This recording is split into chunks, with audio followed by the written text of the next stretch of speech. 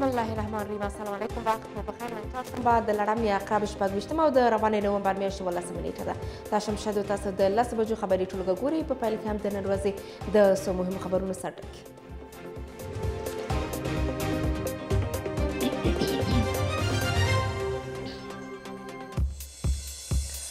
افغانستان او ایران د خپلمنځي همکاریو د زیاتېدو لپاره تخنیکي ټیمونه وګمارل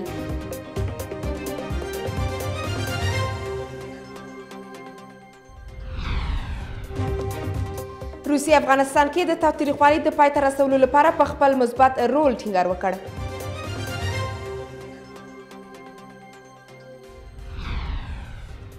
او فایزر شرکت د کرونا ضد ټابلیټونو د استعمال اجازه وغوښته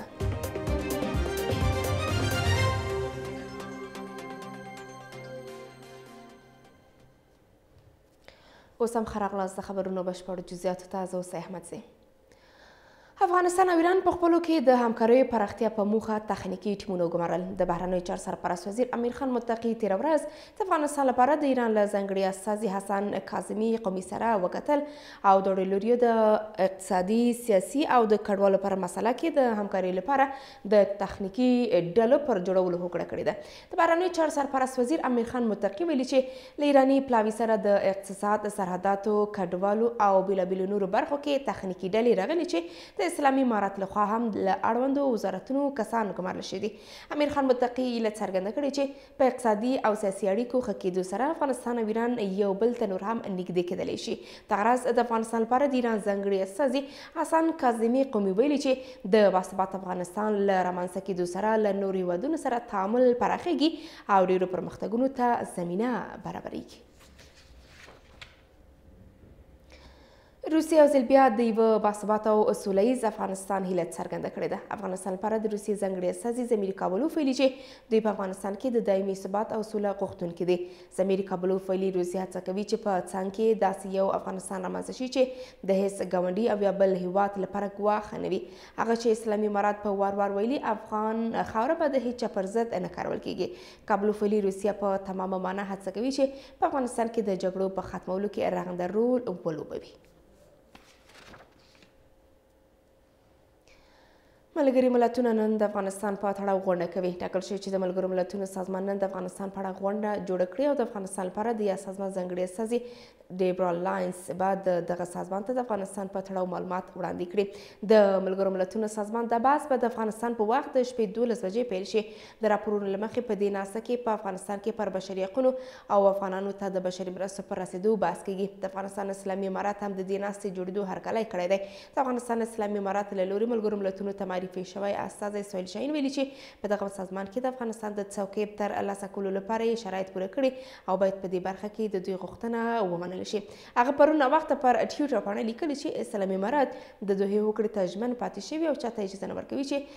د افغانستان خاوره د نورو هېوادونو پر ضد وکارول شي.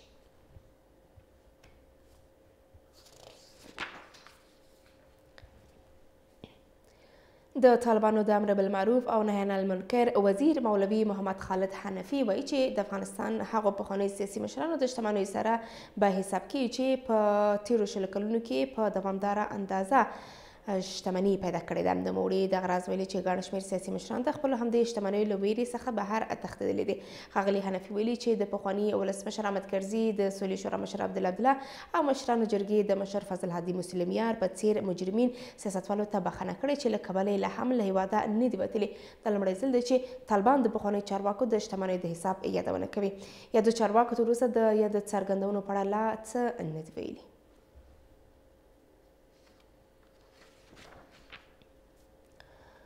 د امریکا د سنا مجلس یو غړي ماک کال ویلي چې د افغانستان نوی حکومت باید بشري حقوقو ته بشپړ درناوی وکړي د امریکا دغه مخکښ سناتور ویلي چې افغانستان کې د نوي حکومت په رسمیت پیژندل به وخت وغړي او په خبرې له کنګل شویو شتمنیو به امریکا د فشار په توګه کار اخلي نوموړي ویلي بشري او د میرمنو حقوقو ته درناوی د اسلامي امارت د رسمیت پیژندلو لپاره تر ټولو مهم شرطونه دي چې باید پر ځای شي هغه دغه راز هیله څرګنده کړې چې افغانستان کې بهرنۍ ترهګرې ډلې فعالیتونه لري او د نړۍ امنیت ته ګواښ پېښ نه کړي خو اسلامي امارات د ټولو ګاونډیو د سیمې او نړۍ وادونو ته ډاډ ورکړی چې هیچا ته به اجازه ورنه کړي چې افغانستان د نور خلاف وکاریږي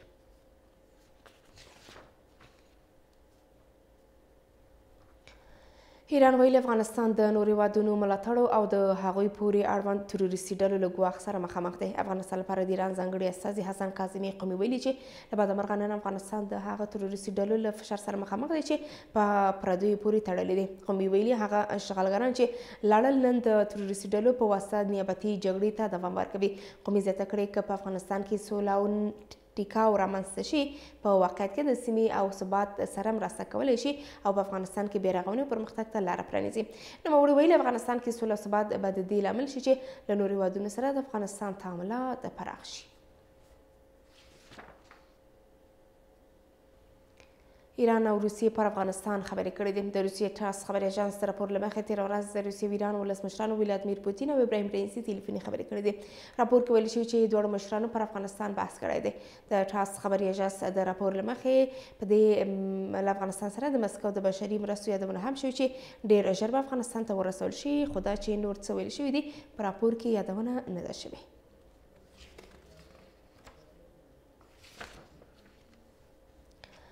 د اسلامي امارات د استخباراتو لوی ریاست په هلمند کې یو افغان سوداګر د انسان تختونکو له منګلو خلاص کړ د اسلامي امارات د استخباراتو لوی ریاست پر خپل ټویټر لیکلي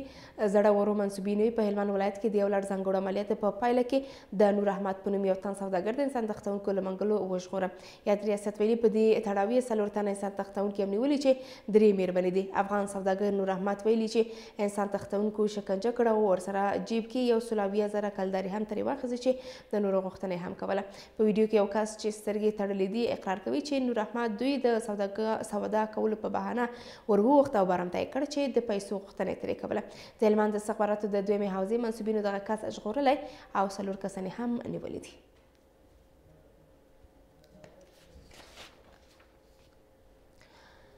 د ننګرهار ښاروالۍ مستحقو اړمنو کسانو ته د کاروبار لپاره تختونه ورکوي په دې وروستیو کې د ننګرهار ښاروالۍ د ښاري نظم په موخه د ښار په مناسبو ځایونو کې د سړکونو غاړو ته د فلزي تختونو جوړولو چارې پیل کړې دي د ننګرهار ښاروالۍ دا تختونه هغه مستحقو اړمنو کسانو ته ورکوي چې له وړاندې په ښار کې لاسي کراچۍ او تختونه لرل او تیر کې یې ښاروالۍ ته مالیات هم ورکول د ننګرهار ښاروالۍ یې ویلي چې د پروسې شفافیت په موخه جدي اقدامات په پام کې نیول شوي دي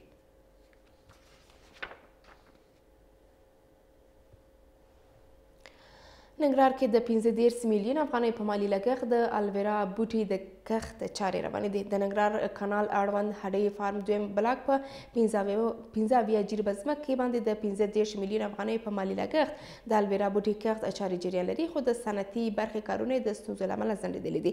الویرا چې یو طبیعي بوټی دی، په لومړي ځل یو فصل او په دویم کال کې څلور ځلې حاصل ورکوي چې د پوستکي ښکلا، معدې، خولې، ویښتان او مسمومیت ضد درملو کې ترې کار اخیستل کېږي.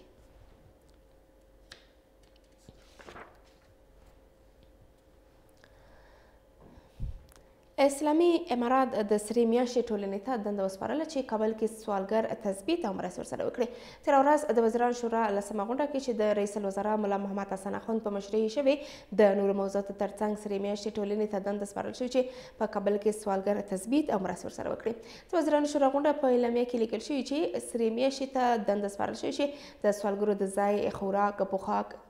دارو درمل د برابرولو او د هغوی د پاللو لپاره ریاست الوزرات خپل راپورونه وړاندې کړي.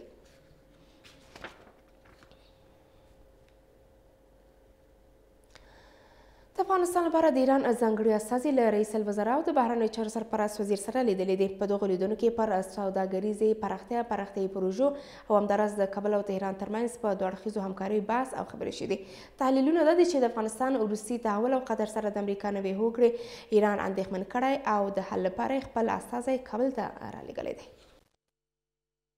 د افغانستان لپاره د ایران ځانګړی استازی حسن کاظمي قمي د یو لوړ پوړي پلاوي په مشرۍ د دوشنبې په سهار کابل ته راغلی دی. قمي تر دې مهاله د افغانستان د بهرنیو چارو سرپرست امیر خان متقي او رئیس الوزرا سره لیدنې کړي او د دوه اړخیزو همکاریو پراختیا سربېره یې پر مهمو اقتصادي او سوداګریزو مسایلو بحث کړی دی. در این دیدارها روی مسایل مختلف بخصوص مسایل تجارتی، اقتصادی و پروژههای انکشافی و در کل روی گسترش روابط هر دو کشور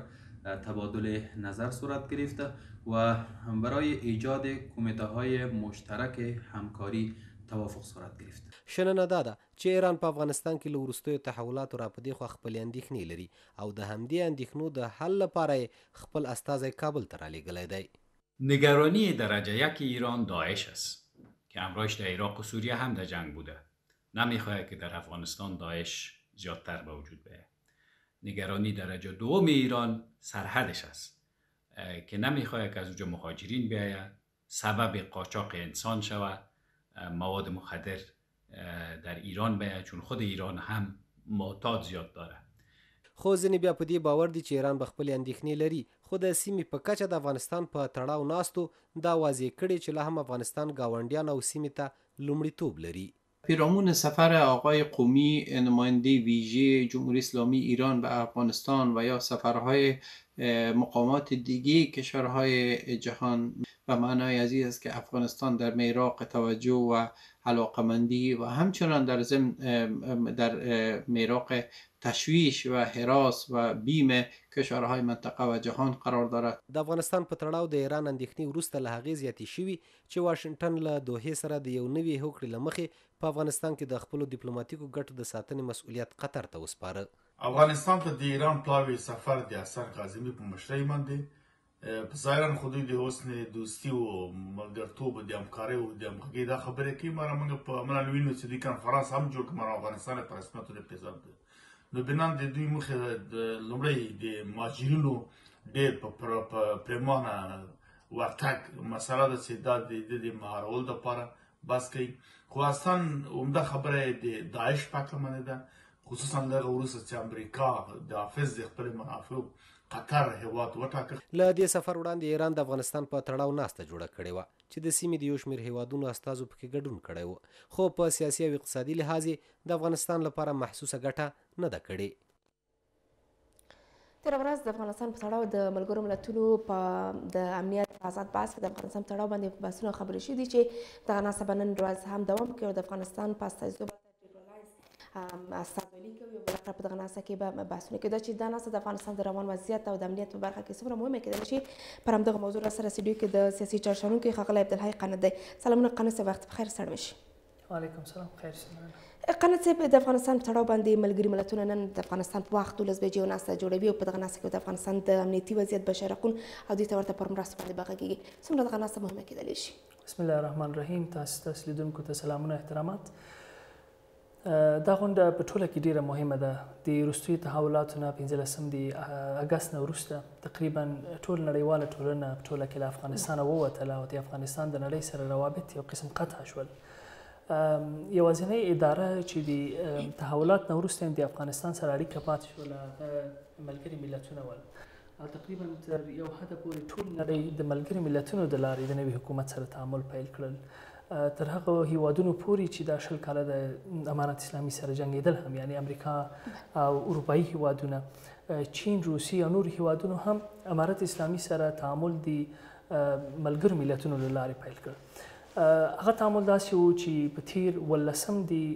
سپتمبر باندې یوه غونډه د ملګرو ملتونو د امنیت شورا وشوله چې پنځه غړي لري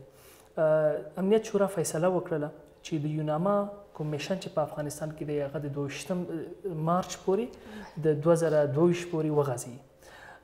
دا غزونه د لپاره و چې افغانستان دوی دا سیګنال ورکړ چې افغانستان دوی ځان ته نه پریږدي او غواړي چې د افغانستان نوي حکومت سره تعامل ولري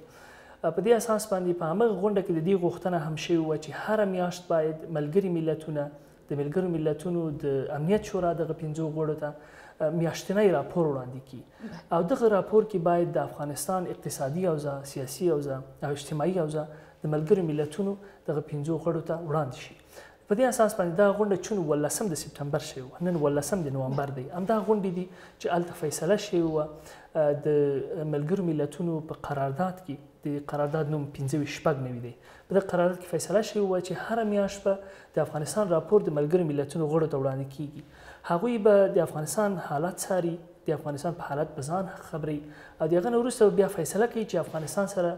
څنګه پرمختګ وکړي او څنګه مخکې لاړ شي په دې کې مهم موضوعات هغه امنیتي موضوعات دي تروریزم مسله ده چې الته یاد شوې ده چې هغه ګروپونه چې په 1998 کې په 2011 کې او 2015 کې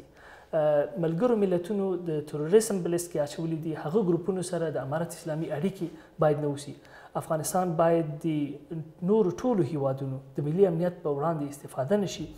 او همداسې افغانستان کې بشري مرستې د افغانستان د خلکو سره د افغانستان د نوي حکومت لاره دا هم د همغه قرارداد برخه ولا نو په دې اساس باندې قرارداد دی چې په ولسم د سپټمبر شوی دی اوس هر میاشت غواړي چې د ملګرو ملتونو د امنیت شورا غړي دا راپور ولري ځان خبر کړي چې افغانستان کې څه روان دي او د دې راپور یوازنۍ لار دا ده چې د یوناما د لارې د ځان خبر کړي په همدې اساس باندې یوناما مشره د افغانستان راپور هلته قنه صاحب یو مسله چې تاسو ورته اشاره درلودله له کله چې نوی نظام رامنځته شو ملګري ملتونه یو له هغه ډلو څخه کېدلی شي چې په افغانستان کې پاتې شي د افغانستان له وضعیت څخه ځان اپډیټ ساتي د ملګرو ملتونو هڅو ته په کتو د افغانستان په اړه باندې څومره خپل دغه هڅې جدي نیولې دي چې بالاخره په روان وضعیت کې هغه که تروریزم سره مبارزه ده هغه که بشري حقونو برخه کې ده هغه که د سولې او د امنیت په برخه کې بحث کېدلی شي دغه هڅې رنګ راوړلی شي بالاخره نتیجه به ورکړي ګورئ نولس سوه پنځه څلوېښت کې ملګري ملتونه د همدې هدف لپاره جوړ شوي دي د دویمې نړیوالې جګړې وروسته چې کله هیوادونه په خپل منځ کې مشکلات ولري د هغې د مشکلاتو د حل لپاره باید داسې یو پلیټ فارم وجود ولري چې هلته دغه هیوادونه خپل مشکلات راوړي په خپل منځ کې په مشکلاتو باندې بحث او خبرې وکړي او دا د مش... د خبرو لارې حل کړي دغه مخکې موږ په نړۍ کې په نړیوال سیاست کې داسې څه نه درلودل په دې اساس باندې هیوادونه ډیر په اسانه باندې یو بل سره جګړې ته تلل او یو بل سره جنگونه کول او د هغه ډیر زیات نقصانات ول نو اصلا اساس د ملګرو ملتونو هم دغه دی چې کله دغسې مشکلات رامنځته شي لکه چې افغانستان کې جګړه ولا افغانستان یو قسم نړۍ سره په مشکل کې وو اوس چې دغه مشکل حل کیږي د دې د حل یوازینی ځای هغه ملګري ملتونه دي او د ملګري ملتونو د امنیت شورا دا مسولیت لري چې په نړۍ کې څومره امنیتي مسایل دي یا په هیوادونو کې څومره مشکلات دي د هغې مشکلات لپاره حل راوباسي خو ښه خبره دا ده چې په دې وخت کې موږ د ملګرو ملتونو امنیت شورا ټول غړي ګورو چې په څو شیانو باندې موافق دي یو شی دا دی چې د افغانستان د خلکو سره باید بشري مرسته وشي افغانستان کې باید بشري ناورین رامنځته نشي بل موضوع دا چې افغانستان اوسنۍ دولت د ټول په د باندې حساب کوي چې اوسنۍ دولت باید د افغانستان امنیت وساتي او د افغانستان خاور د دل لپاره پرې نګدي چې د بل چا په ضد باندې استفاده شي په همدې اساس باندې موږ تاسو ول چې ټول هیوادونه په یو خله په نوي دولت دا غږ هم کوي چې افغانستان کې باید امن وسی، سوله وسی او د افغانستان د ارزی تمامیت، ملی حاکمیت، استقلال او ازادۍ احترام هم لري. یعنی دا هغه شیان دي چې زه فکر کوم د افغانانو لپاره او د افغانستان د نوي حکومت لپاره ډیر مثبت دي چې پنځه واړه د ملي امنیت د شورا د د ملګرو ملتونو د امنیت د شورا غړي هغه په د باندې سره موافق دي چې نوي حکومت سره باید تعامل وشي خو هغه کوم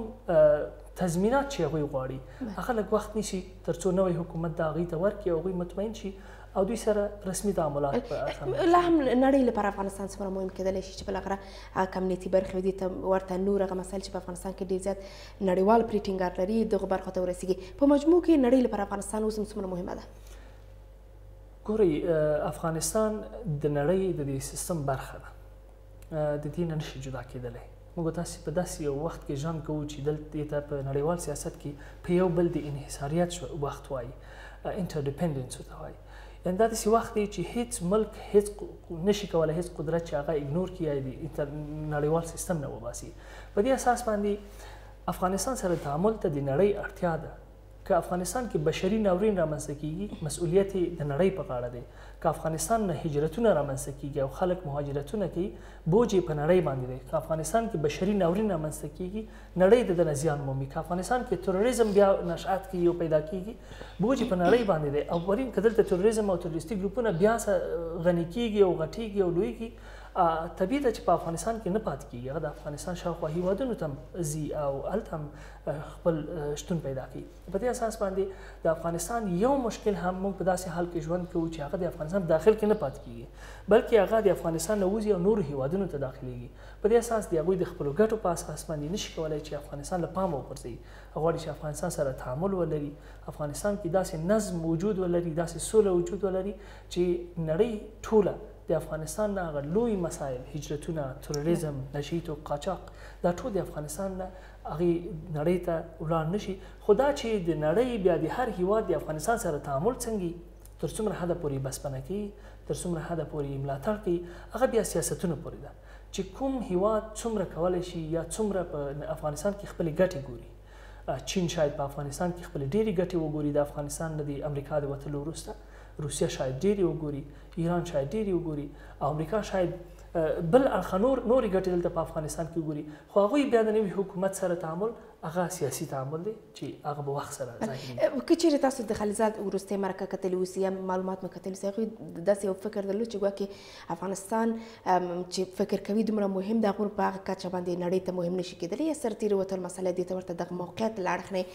ډېر زیات مهمه ښکارن کړه. رښتیا هم افغانستان د موقعیت له اړخه مهم کېدلی نه شي، که نه دا د خلیلزاد یو ډول ناسمې څرګندونې دي چې د افغانستان جیوپولیټیکي موقعیت هغومره مهم نه دی چې خلیزاد ورته اشاره درلودل ده څومره مهم کېدلی شي دغه موقعیت د ټولې نړۍ لپاره د خلیزاد صاحب نه د افغان ولس سوال دا دی چې که افغانستان جیو ستراتیژیک موقعیت دومره مهم نه و شل کاله افغانستان کې امریکا څه کول که القاعده پسې راغلي ول خو القاعده خو 2004 کې ختمه شوله که اسامه بن لادن پسې راغلي و 2011 کې له منځه لاړ هغه وروسته افغانستان کې امریکا څه کول چې ټریلیونونه ډالر یې لګول او په زرګونه خپل عسکر دلته د افغانانو باندې وژل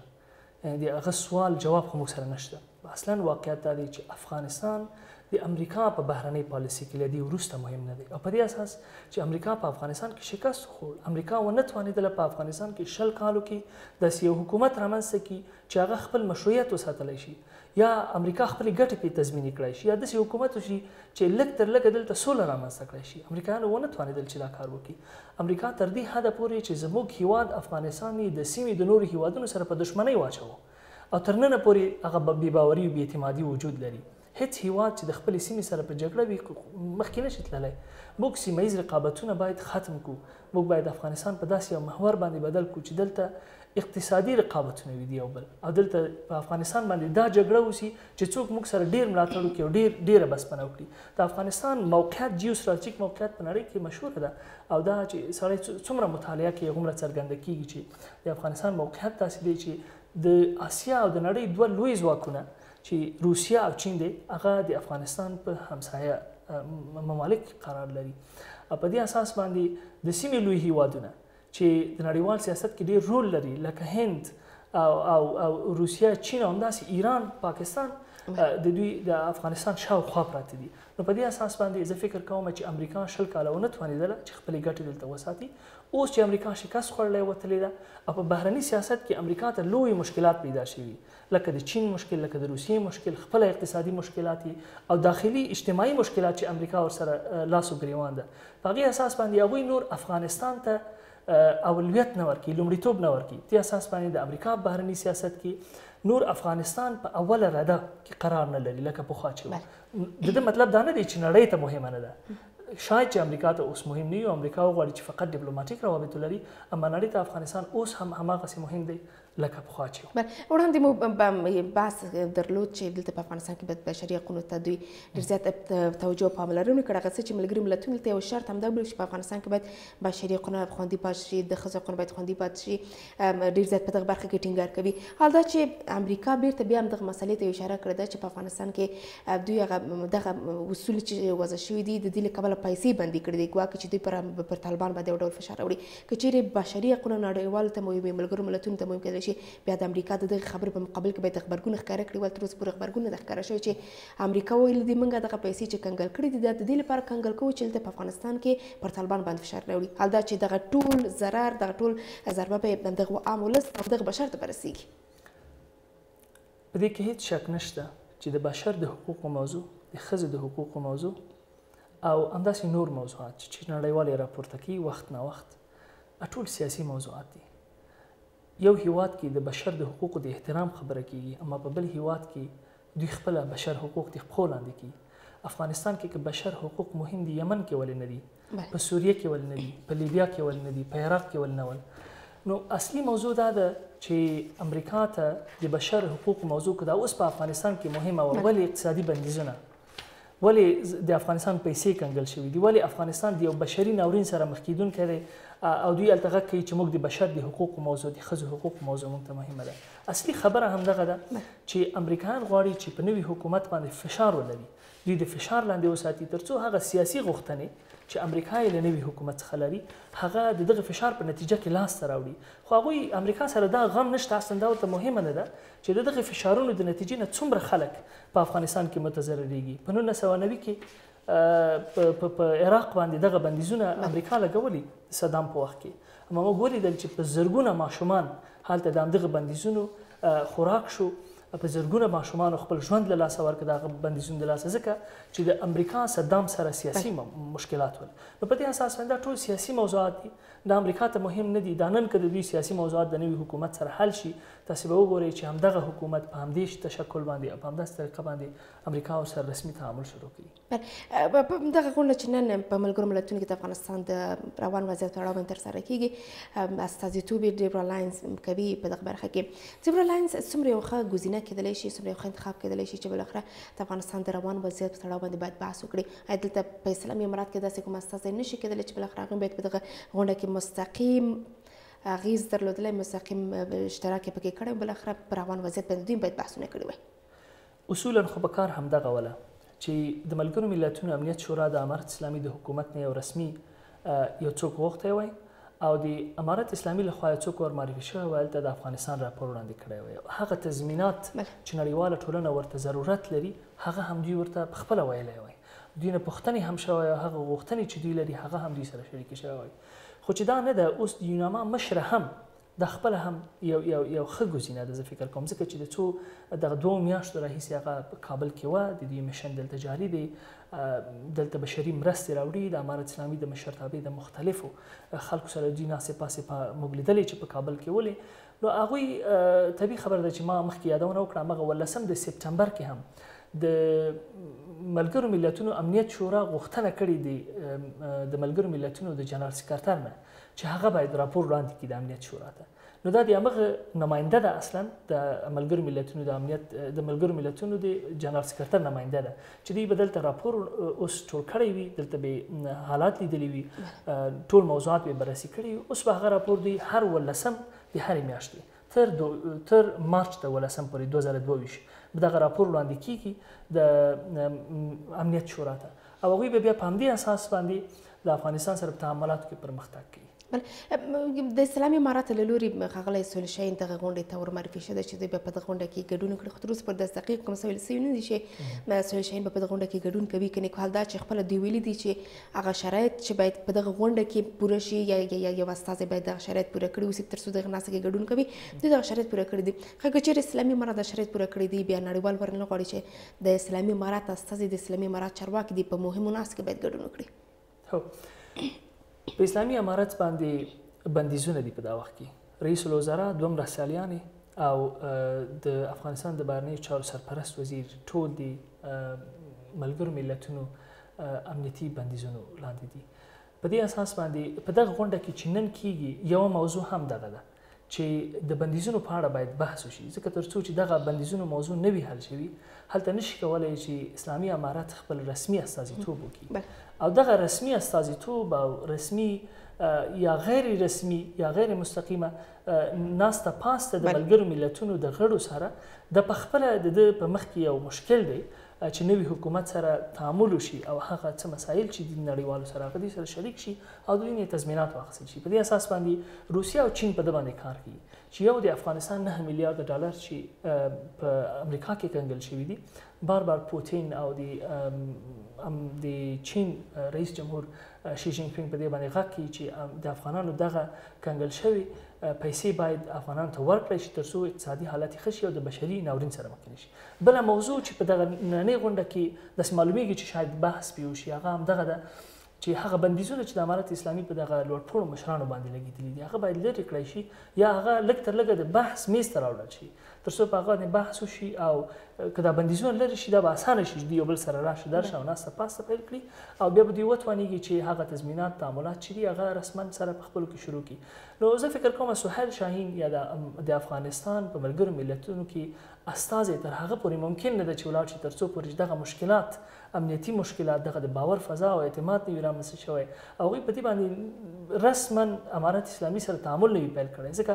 همدغه د امنیت شورا ده چې د سهیل شاهین نوم ور معرفي کوي یو کمیټې ته د ملګرو ملتونو چې کریډنشلز کمیټه ورته وایي هغه کمیټه بیا په دې باندې فکر کوي چې دغه د افغانستان استازی په ملګرو ملتونو کې ومني او د هغه نه وروسته هلته بیا موږ خپله رسمي استازولي ولرو.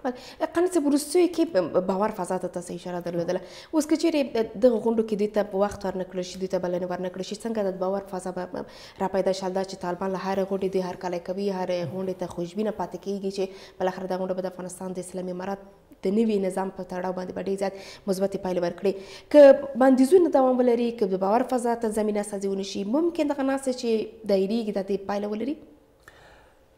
د باور فضا لپاره چې کومې هڅې اصلا په کار دي نړیوال په هغه کې سستی کی اوس یو واقعیت دی چې امارت اسلامي دلته حکومت نیولی د دنه غیر بل کومه ګزینه هم نشته بل لار هم نشته اوس چې د سره بار بار نړیوال دا یادونه کوي دغه ملي د ملګرو ملتونو امنیت شورا هم په د باندې توافق لري ټول هیوادونه دغه ټرویکا غونډه په اسلام اباد کې ولا، چین، روسیه او امریکا په ده باندې توافق درلوده چې نوي حکومت سره باید تعامل وشي. هر کله چې دغه فیصله شوې ده د دې ټولو هیوادونو تر منځ چې تعامل باید وشي یعنې موږ دا حکومت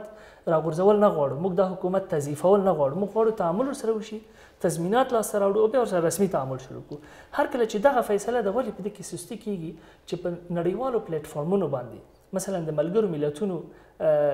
استازولي د افغانستان په دغه مسایلو باندې په بندیزونو باندې ولې کار نه کیږي ترڅو امارت اسلامي او نړۍ سره وتوانیږي چې په اسان ډول باندې مخامخ سره کینی او په رسمي ډول باندې خپل مشکلات حل کړي نو یوازینۍ لارې همدغه ده د اوسنی کوم پروګرامونه غټ غټ کانفرنسونه نړیوال او سیمه ییز چې وشول دا کانفرنسونه په دې کې ډیر کومک کوي چې امارت اسلامي دوی مشران نړۍ سره کینی او هغوی ته هغوی سره خپله مستقیمه خبره وکړي چې هغوی د نړۍ لپاره نور چیلنج نه دی هغوی نه غواړي چې نړۍ سره منفي روابط لري بلکې ټول سره غواړي چې مثبت او مستقل روابط لري نو په دې اساس باندې دغه غونډې په ټوله کې مهمې دي خو هغه هڅې چې په کار دي نړیوال لخوا د مسایلو لپاره زه فکر کوم هغه ډېرې اوس ګړندۍ نه دي او په کار ده چې دا نور هم ګړندۍ شي ترڅو د حکومت وتوانېږي که چېرته دلته مشکلات وي هغه مشکلات دوی سره شریک شي او هغه مشکلات چې موږ افغانان یې لرو هغه نړۍ سره شریک کړو په همدې اساس باندې یو داسې مشترکې نقطې ته ورسیږو همدې هیله ډېر زیات مننه ژوندی سي قانوس به درشته سره مننه د سیاسي چارو شنونکی ښاغلی عبدالحی قانع ته چې موږ سره بحث کړو سم د ما تر د مرسته خبرونه دوام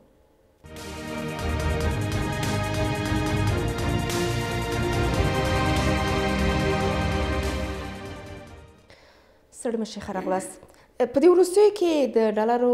جګېدل د افغانۍ پر وړاندې ده چې د افغانۍ ارزښت یې راټیټ کړی دی سوداګر عام خلک ټول زیات په دغه برخه کې اندېښمن دي چې د ډالرو د بیې لوړېدو سره په کور دننه د ټولو توکو نرخونه هم لوړېږي دا چې ولې تر دې هم پورې د ډالر په مقابل کې د افغانۍ ارزښت خپل ځای ته نه درغلی د افغانستان بانک په دغه برخه کې څومره زیاته هڅه او کوشش نه کړ ترڅو چې افغاني بیرته خپل ارزښت ترلاسه کړي او په بازار کې ټول توکي په ارزانه بیه باندې عرضه شي پر همدغه موضوع تر سره سټډیو کې د صنعتکارانو ټولنې رئیس ښاغلی جبار صفای دی سلامونه صفای صاحب سلام شي په خیر راغلی بس سلامت اوسې خور تاسو ته محترم لیدونکو ته سلامونه احترامات وړاندې علیکم سلام صفای صاحب بحث لدی ځای پیلوو چې ولې په یو دم سره په بې ساري ډول باندې د ډالرو بیه د افغانۍ پر وړاندې دومره جګه تللې ده چې بې ساري ګڼل کېږي یو ډالر پنځه نوي افغانۍ پلور کوي په بازار کې بسم الله الرحمن الرحیم مونږ او تاسو پیګو چې په ټوله نړۍ کې د آثارو ساتلو لپاره دوه شیان ډیر مهم یو په خپل په افغانستان کې یا خصوصا افغانستان مثال ورکو په خپل ملک کې داغه تولید او اقتصاد او صنعت چې څومره روش کې هغومره د خپلو افغانۍ قیمت ساتل کیږي دویمه خبره دا چې ډیر اثار زمونږ باید د وارداتو په خاطر باندې خارج ته لاړ شي دویمه دا چې هغه خارجي کمې پیسې چې اوسي یا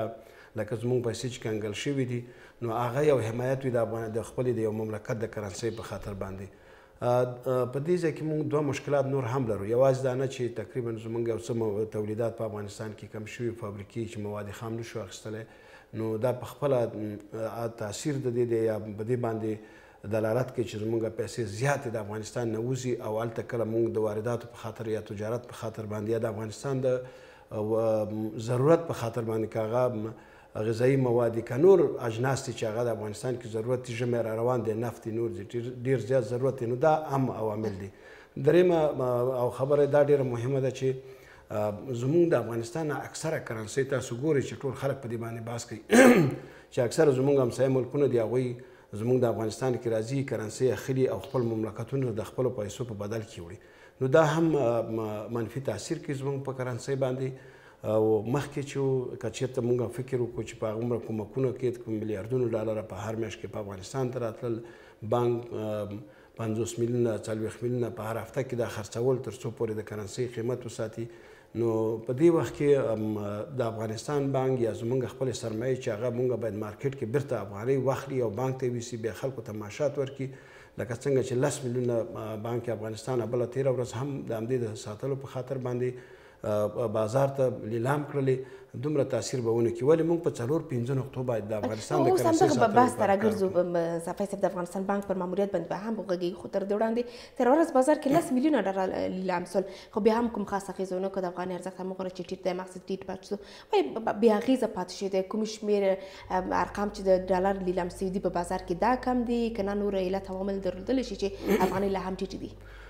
زما فکر باندې مخکې ما تاسو ته ویل چې هم کومکونه او هم بانک تقریبا تر 40 50 میلیون ډالر پورې هغه بازار ته ورکول زه فکر کوم چې اوس هم زمونږ که هغه د افغانستان بانک اوسي یا رهبري اوسي هغوی یو څه قیمت وساته په همدې خاطر باندې چې بعضې بانکونه ونه شو کولی چې مکمل خپلې پیسې خلکو ته ورکړي دا یو طرحه وه چې د دې د اثارو د ساتلو په خاطر باندې او دا هم چې هغوی خپله دا ژمنه هم ښودلې چې موږ باید خپلې د کرنسۍ قیمت ته ژمن یو چې په دې باندې په هره طریقه چې کېږي باید دا وساتو خو زه فکر کوم چې لس میلیونه ډالر په دې باندې هېڅ تاثیر نه کوي ځکه مخکې څلوېښت پنځوس مليونه بکاغ اکثر په هفتو کې په ده باندې بازار ته لیلامېدل ولې دا کم دي د دې لپاره نشي کولی چې کرنسۍ کنټرول کړي بل دا دی چې زموږ اوس ظرفیت نشته مرستې نشته دلته په افغانستان کې چې بالاخره هغه څه چې تاسو یې په یو اونۍ کې حتی څلوېښت پنځوس میلیونه ډالر بازار ته به وارد کېدل لیلام کېدل بالاخره خلک به دغه ډالر اخیستل اوس ولې ممکن نه ده چې همدومره کچه چې پخوا کېدله اوس باید بیا هم دغسې ډالر بازار ته لیلام شي زما په آن باندې مخکې ډیر کومکونه وو کاغه یو سایډي وو کاغه امریکا وو کاغه نړیوال وو کاغه اروپا وو په هر میش کې په کومو برخو کې چې هغه ژمنو چې باید د افغانستان کې اردو او کملکی ادارې وي کنور کومکونه په تعمیراتي او په عامه خدماتو کې په هر برخه کې هغه پروژې وي چې هغه ته د نړیوالو کومکونه کول پیسې به زمونږ بانک ته راتلې دا غینه به جمع کېدلې به بیرته تبادله کېدلې او هغه کولای شو چې زمونږ د افغانستان بانک ډالر خرڅ کړي خو هغه کومکونه یا هغه د خارج نه پیسې د افغانستان ته اوس نه راځي که هغه هر معامله کې اوسي نو زمونږ امارت اسلامي هم نشي کولای چې د هغوی مخکې په شکل باندې دوی دومره بودیجه یا دومره ډالر ولري چې هغه بازار پې کنټرول کړي ولې نورې لارې مهمې دي چې اوس مونږ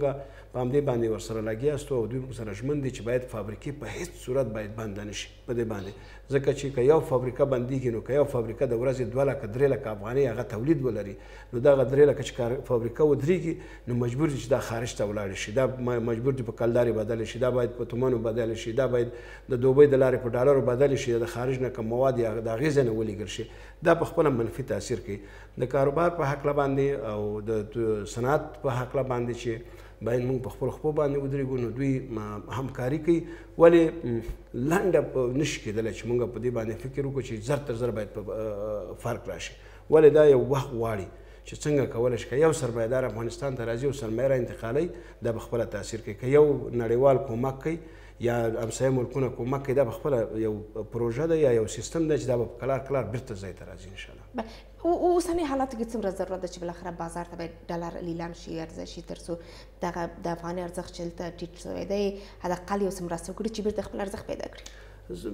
زه فکر کوم چې یوازې په ډالرو به موږ ونه شو کولی ځکه زموږ ډالر چې څومره بازار ته وځي زموږ د بازار نه وځي ډالر نو دا په دې خاطر باندې نور په نورو تګلارو باندې باید کار وکړو په دې باندې باید کار وکړو چې په ټول افغانستان کې باید چې موږ په دې طرح باندې کار کوو چې هیڅوک باید خرید فروش په خارجي کرنسي باندې ونه کی هغه که اوس په فلحالم چې زمونږ الکان زی یا زمونږ مدیران زی د کونړ نه نیولې تر ننګرهاره پورې، ننګرهاره تر خوست او ګردیزو تر کندهاره پورې بیرته هلته سرکل چې په مخکې حکومت کې هغه بند شوی و چې په افغانۍ باندې سرکل چلوي بیرته خلک کلدارې ورکوي موږ ورته چې خلکو نه تاسو افغانۍ واخلئ او چې افغانۍ نه لري کلدار لري چې په دې باندې هم موږ په دې باندې یو کانفرنس جوړو چې باید افغانستان بانک وزارت مالیه او امارت اسلامي مشران باید په دې باندې جدي شي چې باید خپله کرنسي د دنه استفاده وشي دویم همدغه فابریکې دي چې په دې باندې مکمل باید چې په هره طریقه کېږي که هغه د برق مشکل لري د مواد خام مشکل لري یو طریقې ورته جوړ شي ترڅو پورې وکولای شو چې دوی دلته فابریکې چالان شي درېمه مهمه خبر ده چې اکثره تجاران تماس نیسي او هغوی د مثال ترکیه کې ډیر تجاران دي چې را روان دي اوکراین نه خلکو تماسونه نیولي د اروپا نه د هالند نه نور ملکونو نه خلکو تماسونه نیولي چې دا تجاران په خپله را روان دي راځي دوی لپاره باید موږ په یو اساسي نقطه باندې مشترک کار وکړو د وزارت مالیې سره یا خصوصا د سکتوري وزارتونو سره چې یو طرحه جوړه کړو چې دغه سرمایه ګزاران چې راځي دوی ته په کومو شرایطو باندې او کوم امتیازاتو باندې چې دوی خپل سرمایه بیرته را انتقال کړي د صنعت په برخه کې د زراعت په برخه کې د معدنو په برخه کې او خصوصا خدماتي کمپنۍ د ترانسپورت په برخه کې دوی سرمایه ګزاري وکړي چې بیرته د خپل د اقتصاد چې په خپل په تولید او په سرمایه ګزاري باندې جوړ نکو څومره ډالر به موږ بازار ته عرضه کو که څومره بازار ته موږ به ډالر عرضه کو د کرنسۍ د افغانۍ د ساتلو په خاطر باندې هغومره دا ډالر زموږ د افغانستان نه وځي همسایه ملکونو ته وځي دې لپاره باید موږ اساسي اقتصادي طرح جوړه کو چې هغه زموږ یوازې داسې نه وي چې موږ مثال لکه مخکې حکومتونو کې هغه کې هم دا ډالر جګیدل چې کله به ډالر جګیدل دوی به بازار ته ډالر عرضه کول دا د حل لار نه ده حل لار دا ده اقتصادي برنامه دي او دا یو چانس دی بله وړاندې مو همدې برخې ته اشاره درلودله هر څومره چې بازار ته دغه ډالر لیلام سي یا راووځي دا بیرته په ضرر واردېدل دا څومره رښتیا هم اقتصاد ته ضربه واردولی شي ځکه چې دلته په کوردنو له همدې ډالر څخه بیرته استفاده نه کیږي بیرته د سرمایه ګذاري دلته نه کیږي دغه پیسې بهر ته ویستل کیږي یو ښه بدیل له لارې څه کېدلی شي چې بالاخره ډالر که دلته لیلامېږي همدلته په کوردننه باید استعمال شي زه فکر کوم چې څومره اوس مثال 10 میلیونه ډالر مارکیټ ته یا صرافانو واخیستل نو په کور دننه به دوی په کم ځای کې استعمال کړي موږ ته په همدې کې بله طرح ورکړې ده چې ټول عموما بانکونه زموږ د افغانستان دی هغه باید د کریډټ کارت نه استفاده وکړي که هغه مامور اوسي که هغه سرمایه ګزار اوسي فزیکي پیسو باید مخه ونیول شي په افغانستان کې چې هغه لیلامۍ ته ورسیږي باید که ټول کاروبار که دکانداران دي که خصوصا تجاران دي سرمایه ګزاران دي صنعتکاران دي زمونږ چې کم بانکونه دي چې هغه تقریبا شپږ وه یا لس بانکه دي که هغه زمونږ دولتي بانکونه دي که هغه خصوصي دي دوی باید کریډټ کارت نه دغه واخلي پیسې باید ترانسفر شي یو د بل اکاونټ ته دا هم ډیر منظم تاثیر اچولی شي که موږ پیسې د بانک نه راخلو او هغه راوړو مارکیټ کې افغانۍ پې اخلو افغانۍ هلته کوټه کلفي کوو ما مخکې په دې باندې څو ځل بحث کړی چې دا د حل لارې د افغانستان نه د اقتصاد د حل لارې ده او نه د کرنسۍ د ساتلو لپاره چې موږ مارکیټ نه افغانۍ راجمع کو او په بانک کې کوټه کلفي کو چې ودرېږه چې زموږ د افغانۍ قیمت خراب نشي موږ باید په دې باندې کار وکړو چې اقتصادي کم په کومو برنامو باید کار وکړو چې وکولای شو چې د هغه وارداتو چې هغه ډېرې وړې وړې کارخانو ته ضرورت دی، وړې سرمایه ګذارۍ ته ضرورت دی، غټو سرمایه ګذارۍ ته ضرورت دی چې په دې که اقلاً په شپږ میاشتو کې، په یو کال کې، په دوه کالو کې یو ښه منظم یو سیستم ورته ولرو. د دغه سیستم باندې تر اوسه پورې فوکس، تمرکز شوی دی چې بالاخره هغه کارخانې چې تاسو ویلي چې یو وړې وړې کارخانې که دقل جوړ شي هم به د کار زمینه سازي وشي، هم به بېرته د اقتصاد د رغولو په برخه کې مؤثره تمامې شي، دغسې طرحه شریکه شوې ده، دغسې یو فکر موجود دی چې بالاخره دلته په کوردننه که اوس اقتصادي رکود سره موږ تاسو مخامخ استو د مخنیوي لپاره باید دغه کارخانې جوړ شي بالکل اوس تقریبا څلور میاشتې پوره کیږي د امارت اسلامي به هغه کوشش کوي چې باید ټول ملکونه زمونږ افغانستان په اقتصاد او په رسمیت وپیژني هغه په دې برخه کار کوي اقتصادي کوم وزارت تجارت یا وزارت مالیه د دوی سره چې موږ ناستو دوی موږ نه اوس غوښتنه کړې چې باید تاسو یو طرحه منظمه جوړه کړئ چې په دې باندې درې جانبه هم زموږ داخلي اقتصاددانان هم صنعتکاران او هم سکتوري وزارتونه په دې باندې کینو او د یو اعلان وکړو خلکو ته چې راشي په دې باندې ځکه مخکې چې بازار اقتصاد بازار آزاد ورته ویلې چې هر چا په څو شیان خرڅول دوی اوس په همدې طرحه کوي چې مونږه مشترک یو بازار جوړ کړو چې هم کنټرول د امارت اسلامي د حکومت په لاس کې وسی او هر هغه شی چې یا تجارتي وسی یا تولیدي وسی هم کنټرول شي او بازار اقتصاد نه بازار مختلط ته لاړ شو چې وکولای شو په دې حالاتو کې افغانستان د دې بحران نه وباسو بیکاری را روانه ده په دې کې په ډیره ساده باندې په ډیره د سند د حمایت په خاطر باندې مونږ کولای شو چې ډیر وړې وړې مونږ دا ورکړي مثال یو زمونږ یا زنانه دي یا کونډه خور ده یا هر څوک چې په کور کې هیڅوک د هغې د مزدورۍ لپاره نه لري هغه ته کولای شي چې بعضې یا بانکونه قرضې ورکړي یا ورته مؤسسات قرضې ورکړي چې اقلا یو د جرابې ماشین ورته ورکړي او هغه په ساده برق باندې هم چلېدلی شي شل درجنه په هغې باندې تولید کولی شي دغسې په ډېرو برخو کې هم دا د وړو پنځه زره ډالر نه نیولې تر یو لک ډالر پورې بیا د میلیونونو پورې غټه سرمایه دپاره په دې طرحو مونږ کار کوو دا به انشاءالله تعالی دوی ته وړاندې کوو او دوی سره به پرې بحث کوو اوس اندېښنه څه کېدلی شي که علاقمندي په دغه برخه کې نه یو مسله د امنیت مسله کېدلی شي چې هغه اسلامي امارات د دې ډاډ ورکوي چې امنیت خوندي دی امنیت شته دی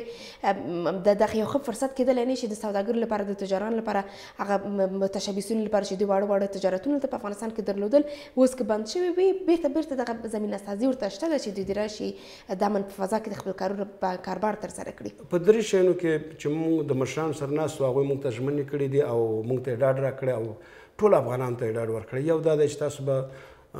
په امن کې اوسئ. که په هر ولایت کې تاسو سرمایه ګذاري کوئ سل فیصده موږ کوشش کوو چې په امن کې اوسئ چې په د امن لپاره خصوصا ټولو هغه سرمایه ګزارانو چې مخکې د سلا امر لرلو هغوی ته بیرته امر ورکړ چې تاسو خپل سلا د خپل امنیت لپاره تر څو پورې چې موږ ټول نظم او نظام او ټول هر سیستم جوړیږي تاسو د دې نه استفاده وکړئ دویمه خبره د فساد و چې مخه د خلکو نیوله دریمه خبره د سند د حمایت په خاطر هغوی وایي چې مثال پاکستان دی ایران دی دغه پنځه مملکتونه چې افغانستان کې اتیا فیصد مارکیټ لري د هغوی تعرفهیي سیستم څنګه دی هغوی د وارداتو لپاره کم سیستم نه کار اخلي موږ باید کم سیستم والو چې مونږ د دې بحران نه ووځو د اسیا په زړه کې استو نو په دې باندې مونږ هم ورسره ډاډمن یو چې یو څه به وشي ولې زر تر زر نه کېږي چې اوس مونږ مثال لیست ورکړی دا اوس هم د وزارت تجارت سره نن هم زموږ جلسه ده ورسره چې د دوبۍ نه خلک راغلل د اروپا نه خلک راغلل اکثره راځي ټلیفون هم کوي تماس نیسي راځي چې پروازونه منظم جوړ شي لږ دوی په سیستم چې اوس ورځ په ورځ باندې د وزارتونو کې خلک مقرر دي سیستمونه یې مغه ران ته روان دي نو په دې برخه کې مثال اول موږ ورته پیشنهاد کړی چې هر څوک جواز اخلي باید هغه ته ځمکه ورکړ شي په دې باندې په خوست کې تاسو ګردیز کې ولیدل چې هلته افتتاح وشوله د خوست پارک ولیدل شو د ارغندی د لوګر پارک ولیدل شو په کابل کې موږ یو زر او تقریبا یولس سوه جریبه ځمکه یا یولس سوه فابریکو دپاره مو ورته پلان ورکړی او ورکو یا ورته چې په دې باندې کار کوو چې کومو برخو کې په کابل کې باید نوې سرمایه ګزاري وشي دا یو مرکزیت دی چې تقریبا درې سوه یا درې نیم سوه کسان په کرایه ځایونو کې د هغوی ته که ځمکې ورکړ شي نوی سړی چې راځي چې څنګه لیسنس اخلي د سرمایه ګزارۍ دپاره هغه ته باید عاجله ځمکه ورکړ شي چې دوی را تشویق شي دا یو اوله د معافیت د مالې دی چې موږ ورسره بحث کوو چې څه شی په افغانستان کې تولیدېږي تعرفه باید کوم ځای ته ورسېږي چې موږ په ده باندې بحث کوو چې پنځه ویشت فیصده څه شی په افغانستان کې پوره کېږي پنځوس فیصده څه شی پوره کېږي پنځه اویا فیصده څه شی پوره کېږي د دوی تعرفې بل مثل چې هم مستهلک خپل غریب ولس په نظر کې ونیسو عام یو سرمایه ګزار د هغې سرمایه او د هغې صنعت مسؤلیت چې د امارت اسلامي مسؤلیت دی دا په نظر کې ونیسو په دې طرحو باندې کار روان دی ولې زه فکر کوم چې زر تر زره نه کېږي ځکه هلته اوس موږ د بانکي سیستم دی چې په دوه برخو کې یو په نړیواله سطحه موږ د مشکل سره اخته استو یو په ملي برخه باندې نشو کولای چې خپل سرمایو نه مکمل په منظم ډول په نورمال ډول استفاده وکړي هم ولست استفاده وکړي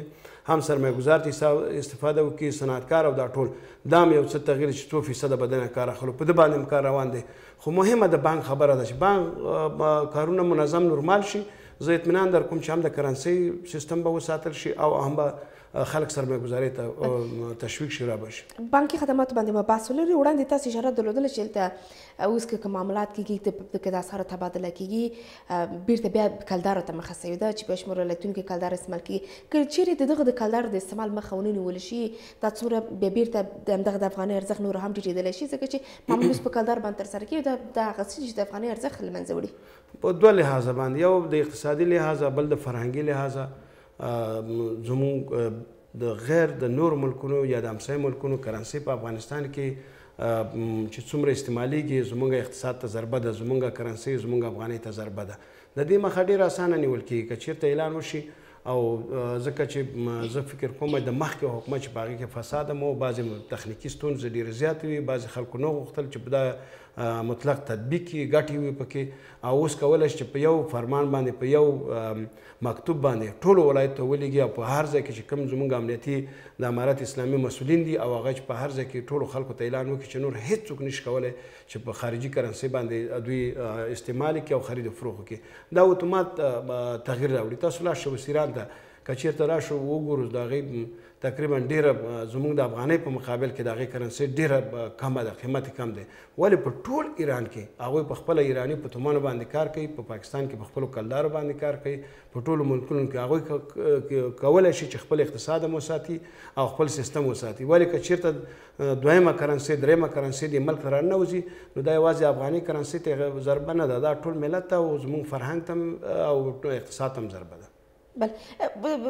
یو بل مسله چې د د دې سبب کېدلی شي چې په افغانستان کې د افغاني ارزښت راښکته کړي د ډالرو قاچاق ده چې بهرنیو هېوادونو ته قاچاق کېږي دغه پروسه اوس څومره په اوسني حالت کې په چټکۍ سره روانه ده چې ډالر قاچاق کېږي هغسې چې بیا بېرته د افغاني ارزښت په مقابل کې راټیټېږي دا خو کرا شو پرون ما بل پرون مونږ چې صرافانو د هغوی کوم بیانې ولیدلې او هغوی د میډیا سره او د رسنیو سره خبرې کړې وي چې غټ تشویش هم ښودلی چې اکثره پیسې دوبۍ ته زیاتې وځي د دوبۍ نه زموږ همسایه ملکونو ته روانې دي او د ده باید مخه ونیول شي همدغه ده چې قاچاق د کرنسۍ نه لکه مخکې چې ما ویل چې څومره پیسې ډالر مارکیټ ته ځي او دا په مارکیټ کې نه پاتې کېږي او دا د مارکیټ نه بهر ته وځي دا نو زموږ په په تاوان باندې یعنی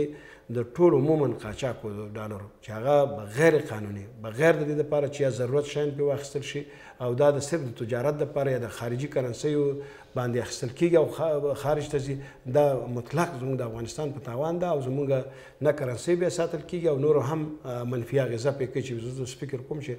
95 کې به مونږ ساتلې په سلو کې به به مونږ ساتلې افغاني بله بودم دغه د افغانۍ د ساتلو په برخه کې د افغانستان بانک څومره خپل مسئولیت تر سره کړی دی چې بالاخره د افغانۍ ارزښت ساتل په بانک په ساتلو کې یوازینی مرجع هغه د افغانستان بانک کېدلی شي چې بالاخره له دغه ځای څخه د افغانۍ ارزښت معلوم شي زه فکر کوم چې کوشش کوي ځکه د دوی د وسې هم بعضې وخت وځي کوشش همدا دی چې لس میلیونه ډالر دوی بازار ته عرضه کړل په همدې پلان باندې چې څه په کلار کلار باندې خپل نور ډالر هم بازار ته عرضه کړي لیلام کې او افغانۍ دوی واخلي ژمن دي ولې بعضې که موږ سیستم ته وګورو په سیستم کې یا تیر حکومت ته وګورو چې هغو په میلیونو ډالر ذخیره لرل او هغه به بازار ته ورکول شاید موږ ټول اوس د ګمرکاتو نه افغانۍ راځي د خارج نه دومره ډالر رانشي کوم زیرمې چې دی هغه په افغانستان کې دي نوي ډالر نه راځي نو دوی به زه فکر کوم چې مطلق په دې باندې دغه نشي دومره قدرت به ونه لري چې حتما به دا وساتي ولې کوشش کوي چې د افغاني کرنسي د افغان ولس لپاره یا د قیمتۍ لپاره یا د په نورو برخو کې دی باندې کوشش کوي چې باید هر لار ولټو او په همدې فکر کې دی او هر ورځ جلسې لري چې کوم کار نه یا د کم د یو یو یو دغه نه کار واخلو تر څو پورې د افغاني قیمت وساتل شي دوی کوشش کوي ولې زه فکر کوم چې فل هر خو دوی سره یو لاره ده چې مارکیټ ته ډالر ورکي او دویمه لاره دا چې په لنډ مدد او وګد وخت باندې په اقتصادي پلان باندې کار وکړي چې خلک سرمایه راوړي اوس ترکیه که تاسو وګورئ ترکیه ته تقریبا په 2020 کال کې څلورم هغه د افغانستان اشخاصو چې پلته سرمایه گذاري کړو یعنی په میلیارډونو ډالر ترکیه ته لاړ یو فزیکی امنیت په خاطر او د یو کور په اخستلو په خاطر باندې نو موږ څه کولای شو چې بیرته خپل د افغانان او ورسره په ډیرو پروژو کې خارجان نشي په افغانستان کې سرمایه گذاري وکړي په دې باندې باید مطلق کار وکړو یوازې په دې تکیه ونه کو چې صبر وکړو چې موږ په رسمیت وپیژني دا غنه ورسته به موږ اقتصادي پلان جوړو موږ به د په خوا کې دا یوازې په دې نه کېږي چې موږ ټول صرف د امنیت په دغه کې فکر وکړو د امنیت نیولو نقطه چې ده هغه د کار د چې خلکو لپاره کار زمينه برابر کو اوس په لک فشار راړو دا غین ورسته استا استا خلکو ته کار برابر شي او د امنیت په خپل جوړیږي او که کار برابر نشي خدای نه خواسته خلک بیکاره کیږي لکه اوس غل ډیر دی هر ورځ څوک شپې ته کسنې سي که څوک رشوت اخلي که څوک غلا کوي دا خدای نه خواسته نورم اضافه کیږي ډیر زیات مننه ژوندی سي جبر صاحب د صفای صاحب د شباس سره ډیر زیات مننه ژوندی سي د صنعتکارانو ټولنې رئیس ښاغلی جبار صفای چې موږ سره بحث وکړو سم راګرځو د خبرونو دوام ته طالبان وایي په هغه مشروع ژمنې عمل کړی چې نړیوالو سره یې ژمنې کړې دي اسلامي امارات د امریکایي او روسي چارواکو لیدنې ته غبرګون کې ویلي چې افغانستان کې چاته د لاسوهنې اجازه نه ده ورکړې او افغان خاوره به د هیچا په ضد ونه کاریږي له دې سره شمېر کارپوهان وایي چې د افغانستان په اړه د امریکا او روسیې سیاست بدلون نه دی کړی او د دواړو هېوادونو ګډ دریځ د افغانستان سولې ثبات ته ګټه ګڼي. د افغانستان لپاره د امریکا ځانګړی استازی چې د اروپایي او سیمې هیوادونو په سفر راوتلی مسکو ته په خپل لومړني سفر کې د افغانستان لپاره د ولادیمیر پوتین ځانګړي استازي ضمیر کاولوف سره د افغانستان په تړاو خبرې کړې دي. توماس ویس په خپله ټویټر پاڼه یوازې همدومره لیکلي چې روسي چارواکو سره یې افغانستان کې پر مشترکو ګټو خبرې کړې دي، خو څرګنده کړې یې نه ده چې د دواړو هېوادونو داسې مشترکې ګټې څه دي چې د بندو دروازو تر شا پرې بحث شوی. نن مې د افغانستان لپاره د روسیې ځانګړي استازي ضمیر کابلوف او د روسي امنیت شورا له مرستیال وینډیکوف سره ولیدل. له دوی سره مې په ګډو موخو خبرې وکړې. او ټینګار وشو چې طالبان دې له نړیوالې ټولنې سره کړې ژمنې عملي کړي. د افغانستان لپاره د امریکا استازي له طالبانو غوښتي چې د نړیوالې ټولنې ژمنې عملي کړي. د اسلامي امارت د ویاند مرستیال وايي، ټولې هغه غوښتنې چې مشروع دي، په اړه یې هڅې روانې دي او نړیوالو سره یې په کړو هغو ژمنو عمل کړی چې د دوحې په هوکړه کې درج شوي دي. طالبانو بیا په دې ټکي ټینګار کړی چې افغانستان به چاته په ګواښ بدل نه شي. و بدون اینکه به هیچ جهت اجازه مداخله در امور داخلی افغانستان را بدهد برای رفع سایر نگرانی های مشروع جامعه جهانی تلاش های جدی نموده و هنوز می نماید هیچ تهدید از افغانستان در هیچ عرصه به جامعه جهانی و یا خود مردم افغانستان متوجه نبوده و امارات اسلامی مسئولیت های ملی و بین المللی خود را به خوبی به پیش برده است کارپوهان وايي، روسیه او امریکا د افغانستان په اړه په پخواني سیاست روان دي او تر اوسه یې سیاست کې بدلون نه لیدل کېږي. د دوی په وینا، روسیه او امریکا د ترهګرۍ په اړه ګډ مشترکات لري، خو دا چې د افغانستان په اړه یو ګډه همغږي راغلې، دا د افغانستان د سولې او ثبات په ګټه ده. دغه اوسنی موقف د دواړو هېوادونو ترمنځ هماغه د پخواني سیاست دوام دی. په افغانستان کې دوی مشترکې ګټې لري او لویه ګټه یې طبیعي خبره ده چې د روسانو لپاره سیمه ییز امنیت ته یې همدا ډول د امریکایانو لپاره شاید هم د تروریزم مسایل مطرح وي، همدا ډول نور مسایل مطرح وي، نو د دوی تر منځ دوامداره اړیکې او د افغانستان په باب واحد یا اقلا نږدې نظر رامنځته کول دا د افغانستان د سولې او د ثبات سره مرسته کولای شي. افغانستان کې د تېرو شلو کلونو د جګړې یو ستر اړخ د امریکا او روسیې تر منځ د نیابتي جګړو دوام و، خو ټینګار دا ده چې دغه هېوادونه د افغانستان سره په رښتینې مانا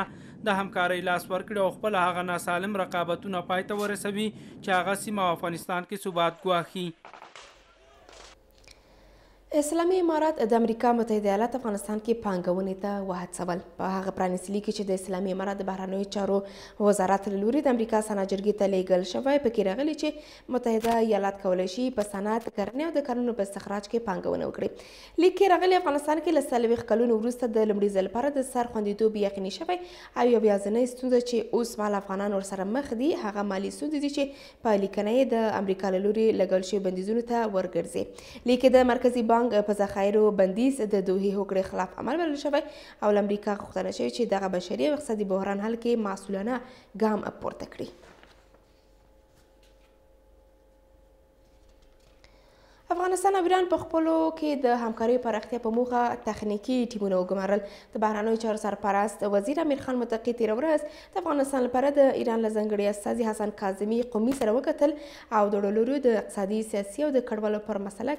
د همکاریو لپاره د تخنیکي ډلو پر جوړولو هوکړه کړې ده د بهرنیو چارو سرپرست وزیر امیر خان متقي ویلي چې د ایراني پلاوي سره د اقتصاد سرحداتو کډوالو بېلابېلو نورو برخو کې تخنیکي ډلې رغلي چې د اسلامي امارت لخوا هم له اړوندو وزارتونو سره ګمارل شوي دي امیر خان متقي هیله څرګنده کړې چې په اقتصادي او سیاسي اړیکو کې ښه کېدو سره افغانستان او ایران یو بل ته نور هم نږدې کېدای شي دغه راز د افغانستان لپاره د ایران ځانګړي استازي حسن کاظمي قومي ویلي چې د باثبات افغانستان له رامنځته کېدو سره له نورو هېوادونو سره تعامل پراخېږي او ډېرو پرمختګونو ته زمینه برابرېږي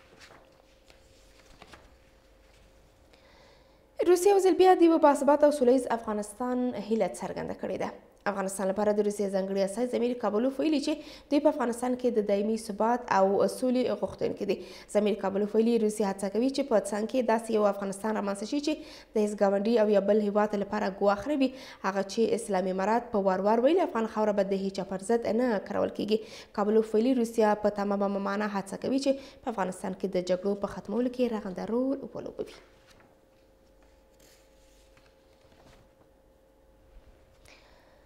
ملګري ملتونه نن د افغانستان په تړاو غونډه کوي ټاکل شوې چې د ملګرو ملتونو سازمان نن د افغانستان په اړه غونډه جوړه کړي او د افغانستان لپاره د یا سازمان ځانګړي استازی ډیو لاینز به د دغه سازمان ته د افغانستان په تړاو معلومات وړاندې کړي د ملګرو ملتونو سازمان ته بحث په افغانستان په وخت د شپې 12 بجې پیل شي د راپور لمخې په دې ناسه کې په افغانستان کې پر بشري حقوقو او افغانانو ته د بشري مرستو پر رسیدو بحث کیږي د افغانستان اسلامي امارات هم د دې ناسې جوړېدو هرکلی کړی دی د افغانستان اسلامي امارات له لوري ملګرو ملتونو ته معرفي شوی استازی سولې شاهین وایي چې په دغه سازمان کې د افغانستان د څوکۍ ترلاسه کولو لپاره شرایط پوره کړي او باید په دې برخه کې د دوی غوښتنه ومنل شي هغه پرون ناوخته پر ټویټر پاڼه لیکلي چې اسلامي امارات د دوحې هوکړې ته ژمن پاتې شوی او چاته اجازه نه ورکوي چې د افغانستان خاوره د نورو هیوادونو پر ضد وکارول شي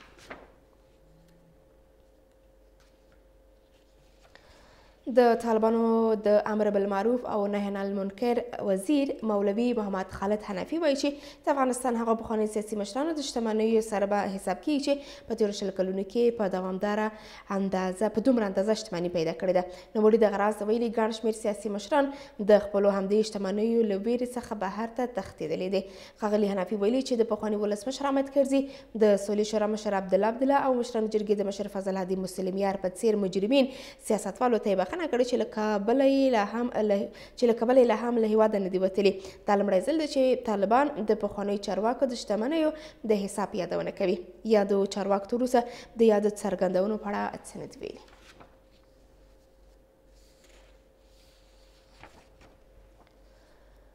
د امریکا د سنا مجلس یو غړي ماک کال ویلي د افغانستان نوی حکومت باید بشري حقوقو ته بشپړ درناوی وکړي د امریکا دغه مخکښ سناتور ویلي چې افغانستان کې د نوي حکومت پر رسمیت پیژندل به وخت غوړي او په خبرې له کنګل شوې شتمنۍ به امریکا د فشار په توګه کار واخلي نوموړي ویلي بشري او د میرمنو حقونو ته درناوی د اسلامي امارات د رسمیت پیژندلو لپاره تر ټولو مهم شرطونه دي چې باید پر ځای شي هغه دغه راز هیله څرګنده کړې چې افغانستان کې بهرنۍ ترهګرې ډلې فعالیت ونه لري او د نړۍ امنیت ته ګواښ پېښ نه کړي خو اسلامي امارات د ټولو ګاونډیو د سیمې او نړۍ ودونو ته ډاډ ورکړی چې هیچا ته به اجازه ورنه کړي چې افغانستان د نور خلاف وکړي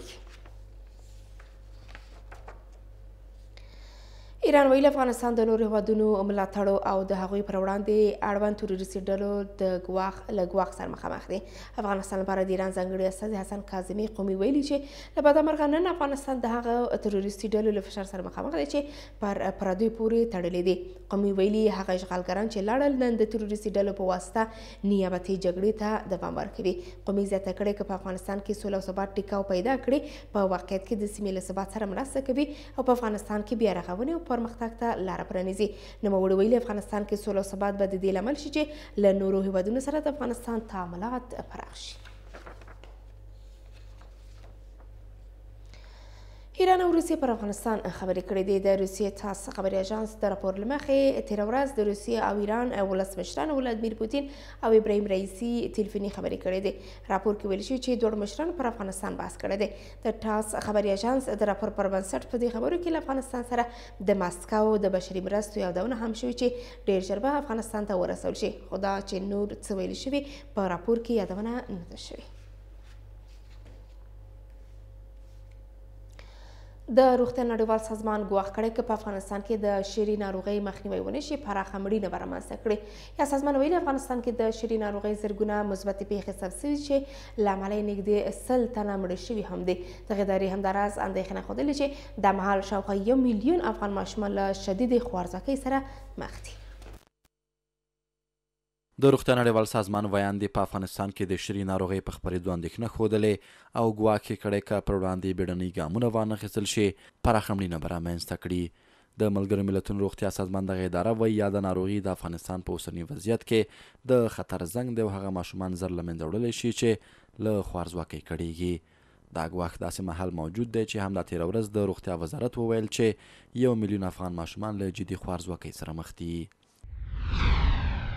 د شیرې ناروغي د خوارځواکو ماشومانو لپاره د مرګ حکم دی.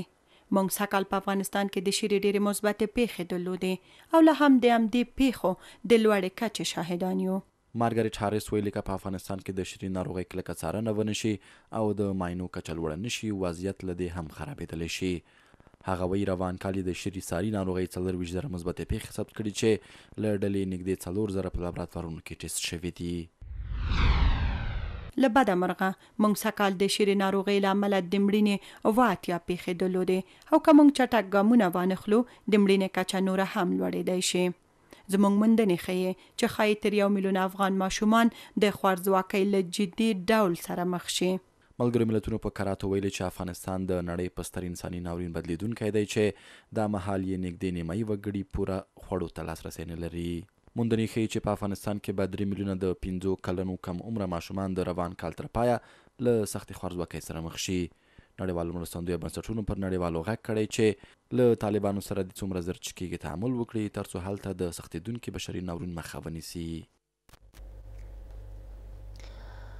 پاسپورت ریاست په کابل کې د پاسپورتونو د ویش بهیر وځنډوه د پاسپورت ریاست مسولین وایي دغه پریکړه په بایومټریک ماشینونو کې د تخنیکي ستونزو له امله کړې ده مسولینو ویلي چې په ولایتونو کې چارې په عادي ډول دوام لري او هڅه کوي کابل کې هم درېدلې پروسه زر پیل کړي هغه به ګڼ مسافر او ناروغان د پاسپورت ریاست مخې ته انتظار دي او د ستونزې د حل غوښتنه کوي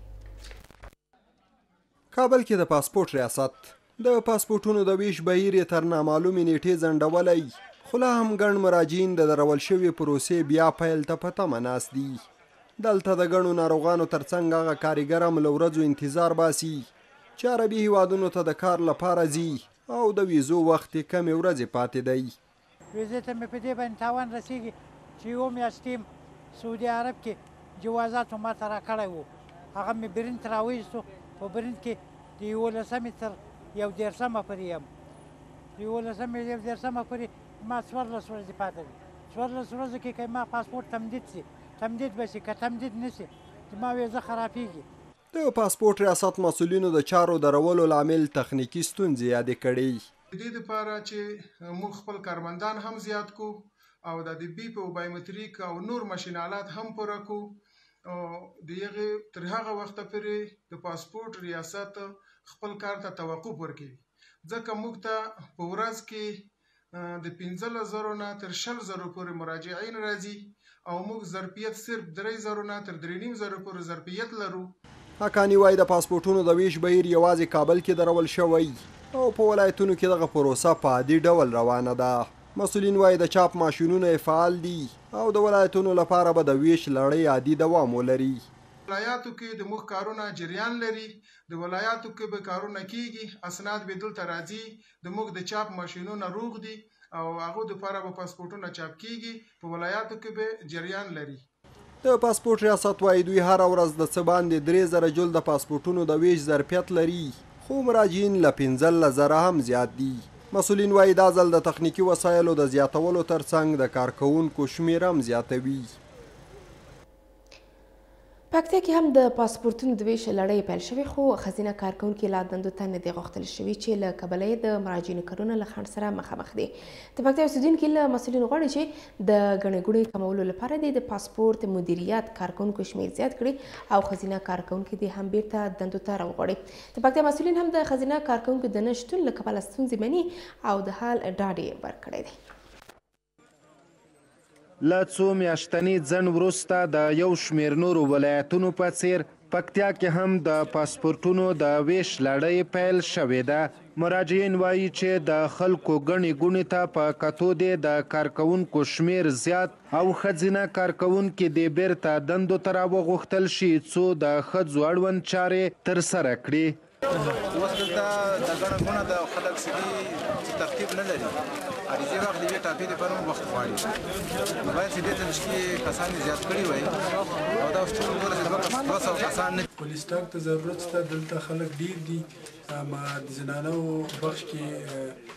ښځینه کارکوونکې نشته. دلته ډیری ناروغان او هغه کسان د پاسپورټ اخیستلو لپاره مراجعه کوي چې عربي او نورو بهرنیو هیوادونو ته د تګ اراده لري. د پاسپورټ مدیریت یو شمیر کارکوونکي د ښځینه کارکوونکو موجودیت اړتیا بولي او له مسؤلینو غواړي چې تشکیل دې بشپړ کړي. ښځینه کارمندانو ته په اړتیا لیدل کېږي چې بایومتریک په سیستم کې باید ښځینه کارمند توظیف شي تر څو هغه کومې ستونزې چې ښځینه او بایومتریک وي هغه ستونزې باید دوی حل کړي. ناروغان ډېر راځي، هغه خلک چې د خارج ویزې لري، د کویټ، سعودي، نورو ملکو هغه خلک ډېر راځي. محصلین راځي عادي خلک هم ډېر راځي. د پکتیا پاسپورت مدیریت وايي چې هره ورځ د دوه سوه کسانو د پاسپورت اخیستنې اسناد وروستي کېږي او په ټولیز ډول هڅه دا ده چې د مراجعینو کارونه ونه ځنډېږي. میګ دوه سوه تر دوه نیمې سوې پورې دا پاسپورټونه میګ توضیح کړي دي او کوشش دا کی چې څومره زیات تعداد میګ وخوستی شي خلک ته خدمات وکړي میګ انشاءالله د دوی په خدمات کې د پکتیا پاسپورټ مدیریت ګڼې ګونې ته په کتو له خلکو د حوصلې غوښتنه کوي او وایي چې د ټولو مراجعینو کارونه په نوبت ترسره کېږي. حکمت نیازی، شمشاد نیوز، پکتيا. د امربالمعروف او نهی عن المنکر سرپرست وزیر وایي افغانان باید خپل یووالی وساتي او د پردیو دسیسو پر وړاندې دې ویښوځي نوموړي په مزار شریف ښار کې خبري کنفرانس ته همداراز ویلي چې امریکا د داعش په نوم د افغانستان د نامنا کولو هڅه کوي سرپرست وزیر ویلي د تیر نظام لوی لوی مجرمین د اسلامي امارت لخوا عفوه شوي دي نو څوک دې نه ویریږي دلته په مزار شریف ښار کې د امر بالمعروف او نهی عن المنکر ولایتي ادارې د فعالېدو په تړاو کنفرانس جوړ شوی دی. د امر بالمعروف وزیر په خپلو خبرو کې وویل چې افغانان باید خپل یووالی وساتي او د پردیو د دسیسو پر وړاندې دې ویښ واوسي. هغه همداراز نیوکه وکړه چې امریکا د داعش په نوم د افغانستان د ناامنه کولو په لټه کې ده. دا د کوم ځای نه سرمایه ګذاري وکړه دوی دا هغه داعشان نه و چې جوزجان چې کله فتح شو مجاهدین ورغلل امریکایانو هلیکاپټرونه راوستو هغه کې کینه او کابل ته ورسو ا تاریخ چا نه یریږي نن امریکا دا غواړي او يهود دا غواړي چې د داعش په شکل مسلمانان او افغانستان مقدس هوا کې بنمنی پیدا کړي د شیخ محمد خالد په وینا اسلامي امارت د تیر نظام مجرمینو ته عفوه کړې او غوښتنه یې وکړه چې څوک دې د ویرې او تیښتې هڅه نه کوي.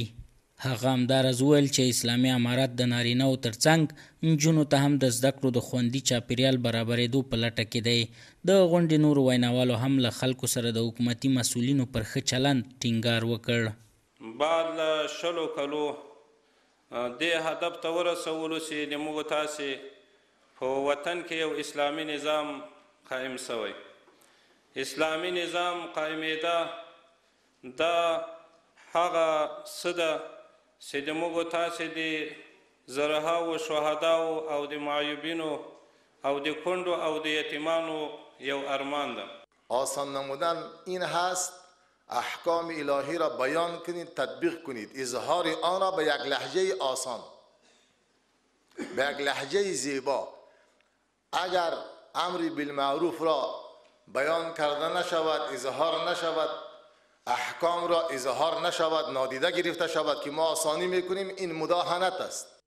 د غونډې په پای کې د امر بالمعروف او نهی عن المنکر وزیر په مزار شریف ښار کې خپله ولایتي اداره فعاله کړه چې دم ګړۍ شاوخوا دوه سوه دیني عالمان په تشکیل کې لري. جاوید واک شمشاد نیوز، بلخ.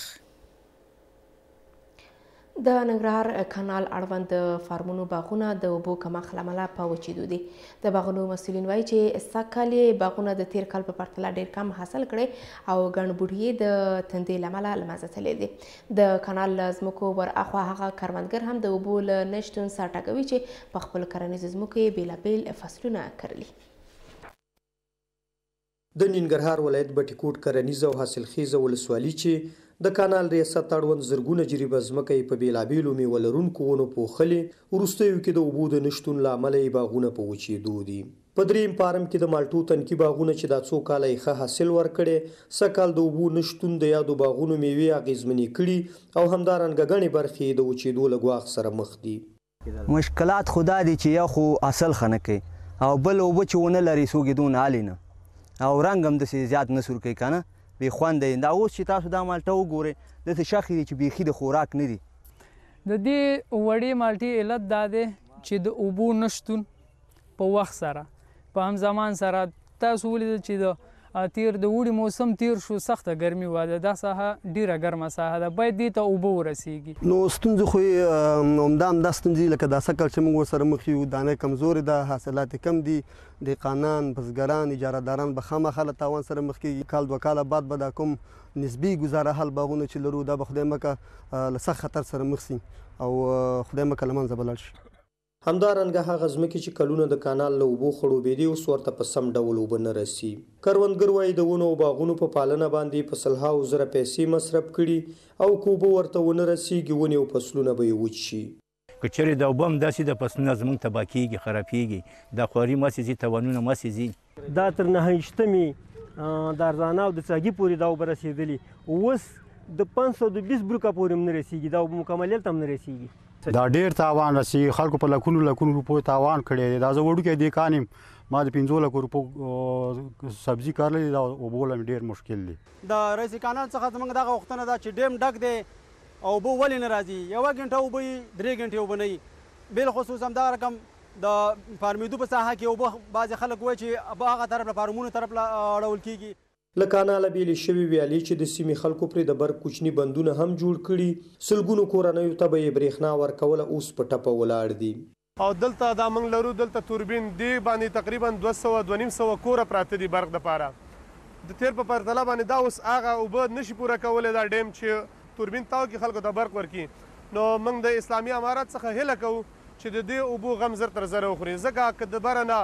که اوبه چېرته کمې وي، خو موږ شکایت نه لرو، که اوبه کمې نه وي، نو هېله کوو تې چې دا اوبه به زر تر زره راخوشې کړي. خلک ادعا کوي چې په دې وروستیو کې د دویم فارم په سیمه کې اوبه په خپل سري ډول سیند ته خوشې کېږي، خو د کانال رئیس بیا دا ډول ادعاوې ردوي او وايي چې هېچا ته به اجازه ورنه کړي چې د کانال اوبه له اړتیا پرته مصرف کړي. هغه همدارنګه وايي چې په سیند کې اوبه کمې شوي او د درونټې د بند کاسه له اوبو تشه ده، خو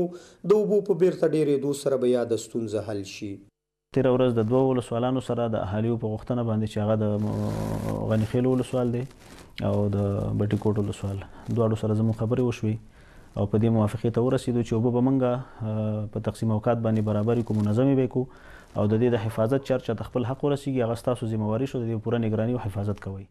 د کانال اوبه چې وړاندې به تر لرو پرتو ولسوالیو رسېدلې، په دې وروستیو کې د وچکالیو اورښتونو د نه شتون له امله د اوبو سطحه په کمېدو ده او له یوې ورځې بلې ته د وچکالۍ اندېښنې په ډېرېدو دي. سهارګل احساس، شمشاد نیوز، ننګرهار، بټي کوټ، درېیم پارم سیمه. تیر ورځ بریټانیا هیواد ویلو چې دوی غواړي له اسلامي امارات سره تعامل ولري دا چې تعامل څه ډول وي د کوم شرایط پر اساس به دوی له اسلامي امارات سره تعامل کوي په مجموع کې څومره ښه اقدام کېدلی شي د بریټانیا هیواد له لوري له نوي اسلامي امارات سره پر همدغه موضوع در سره د پانتون استاد ښاغلی ابوزر خپلواک زاده دی سلامونه زاده صاحب سره مشه بخیر غلواست کورمودان زه هم په خپل وار سلامونه او نیک هیله وړاندې کوم تاسو ته او د برنامې ټولو لیدونکو ته سازه صاحب علیکم سلام تیر ورځ بریټانیا هیواد ته ویلي چې دوی غواړي له طالبانو سره امام په دغه برخه کې دوی تعامل وکړي څومره خو ګام کېدلی شي د بریټانیا له لوري د اسلامي امارات د تعامل په برخه کې چې بل اخره د بریټانیا د خبر به اغېزناکه تمام شي ترڅو تعاملات له ټولو نړۍ سره اسلامي امارات پیدا کړي که چیرې وګورو کله چې د فورس ماجور حالت په پایله کې نظام بدل شولو تیر نظام ړنګ شول او اسلامي امارت راغی په ټول افغانستان باندې یو ولکه ټینګه کړله دوی د پیل څخه دا تمه لرله چې یو شمیر هیوادونه به فورا دوی په رسمیت وپیژني د هیواد ننه او د هیواد څخه بهر دوی به مشروعیت پیدا کړي ولې د دوی د توقع خلاف عمل ترسره شو هغه هیوادونه چې دوی ورباندې ډیر اتکا کول حساب کول هغوی هم په رسمیت دوی ونه پیژندل لکه پاکستان روسیه چین ایران د مرکزی آسیا شمیر هیوادونه دوی د دې وضع څخه په اندېښنه کې شول او دوی هڅه پیل کړله چې په شکل د اشکالو نړیوالو ته د سیمې وردون ته اقناع ورکړي چې تاسو موږ په رسمیت وپېژنئ ولې د تاسف ځای دلته دا ده چې یو شمېر غونډې د افغانستان اړوند وشولې ولې په دې غونډو کې حتی د اسلامي امارت کوم چارواکی هم دعوت نشو چې موږ ول د ایران کې داسې ورته کار وشو په هندستان کې داسې مشابه کار تر سره شو نو دې وضعیت هم د دې سبب شول چې اسلامي امارات نور هم پندخنه کړي د دې لپاره چې د اوسنی نظام څخه توقع ډیره زیاته ده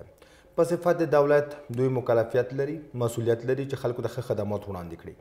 د امنیت ترڅنګ مونږه ښه اقتصاد ضرورت لرو اشتغالي زمينه باید مساعده شي خلکو ژوند باید ارتقا پیدا کړي او دغه ټول مسولیت دوی ته راګرځي او دوی هم دغه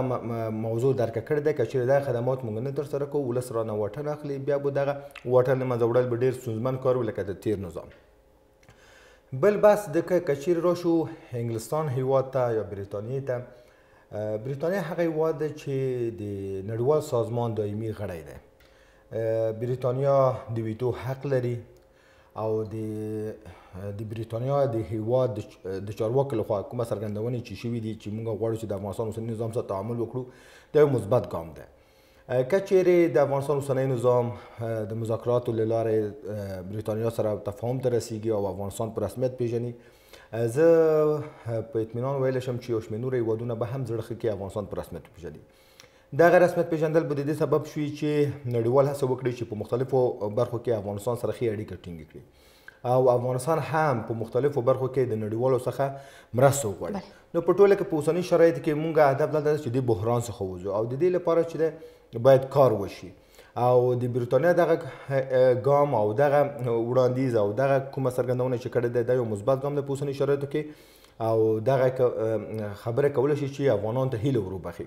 اوس استاد د هیله خودلو ترڅنګ یو مسله چې هغه د نړیوالو لوري همیشه اسلامي امارات سره د تعامل په برخه کې دغه بحثونه راپورته شي دي حتما قید او شرط دغه برخه کې مطرح شوی دی چې بل اخر دغه شرط پر اساس باندې موږ اسلامي امارات سره تعامل کوو او بیا دغه غوښتنو د پوره کول پر اساس باندې به تعاملات مختزي اوس د بریټانیا له لارې کوم شرط قید مطرح شوی دی مطرح کېدلی شي وروسته دې نه چې بالاخره که چېرې دوی اسلامي امارات سره تعامل غواړي څه ډول به وي دوی دغه تعامل د نظام په کچه بدلون یو اصل دی موږ مخکې فورس ماجور کلمه وکاروله فورس ماجور هغه وضع ته وایي چې خلک د نظام پر وړاندې ودرېږي قهریه ځواک دی حاکم نظامونه ونه شي کړای چې هغه وضعیت مهار کړي مدیریت کړي بل اخره واک هغه افراد چې د نظام په مقابل کې درېدل د هغوی لاسته ورشي همداسې کار وشولو د فرس ماجور په حالت کې اسلامي امارات راغی پر ټول افغانستان باندې ولکه ټینګه کړله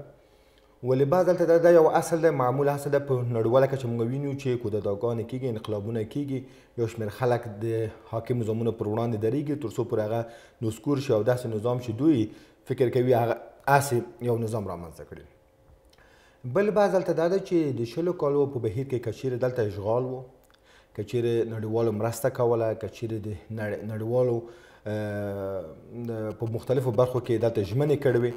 د افغانستان تیر نظام سره مرستې وشولې موږ ګوره په او په اوسني شرایط کې د نړۍ ډېر هېوادونه غواړي چې دغه لاسته راوړنې شل کلنې لاسته راوړنې باید حفظ شي هغه لاسته راوړنې چې اسلام سره په ټکر کې نه دي د افغانستان د خلکو فرهنګ سره د خلکو عقاید سره د خلکو عرف سره هم په ټکر کې دا باید حفظ شي لکه مونږ واوریدل چې حدودا 15 میلیارډ ډالر دلته نظامی تجهیزات د غربیانو څخه خاصه د امریکا څخه پاتې د افغانانو ته دا یو اسې و مسله ده چې افغانانو هم په دې مسله کې ډیر اساس دی وایي چې دا باید حفظ شي او نړیوال هم غواړي بل بحث دلته دا ده چې د انجونو زده کړې مسله ده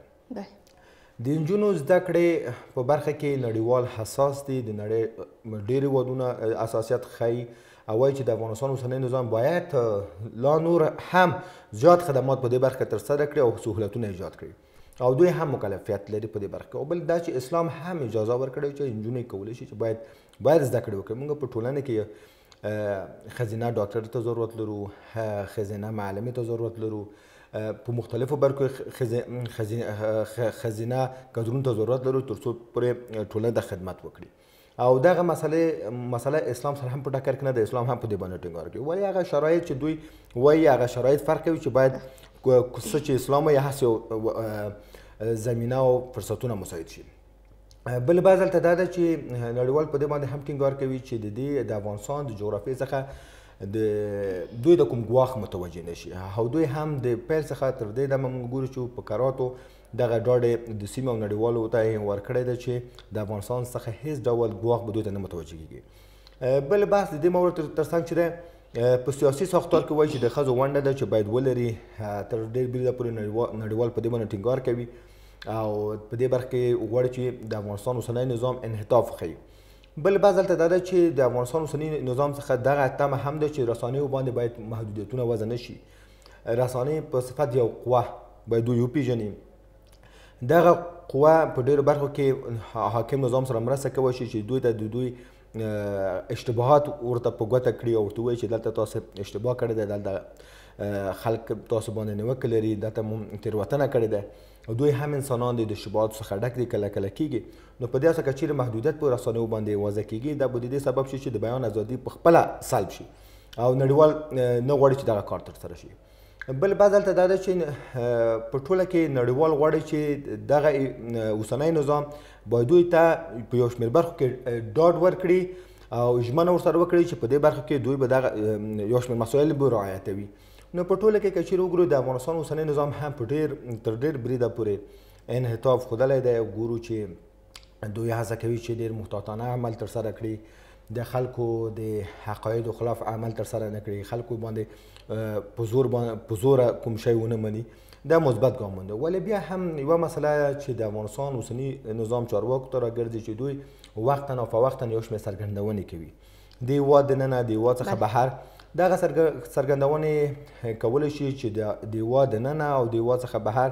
د افغانستان اوسنی نظام مشروعیت ته صدمه ورسوي نو دوی د باید هڅه وکړي چې یو واحد دریز باید ولري په خپل خبرو کې باید ډیر محتاط اوسي دوی داسې یو ډیپلوماسي غوره کړي چې د سیمې او په نړۍ کچه ټول هیوادونو سره ښې اړیکې وپالي داسې نه وي چې د یو هیواد خوشحالولو لپاره د نورو هیوادونو سره د رابطه قطع کړي او زیان افغانان وویني استاد دا خو کورنۍ دریزه چې بالاخره دوی باید د ټول په مقابل کې ډول دریز غوره کړي بیا د همدغه دریز او د همدغه اصولو پر اساس باندې هغوی سرمخ ته لاړ شي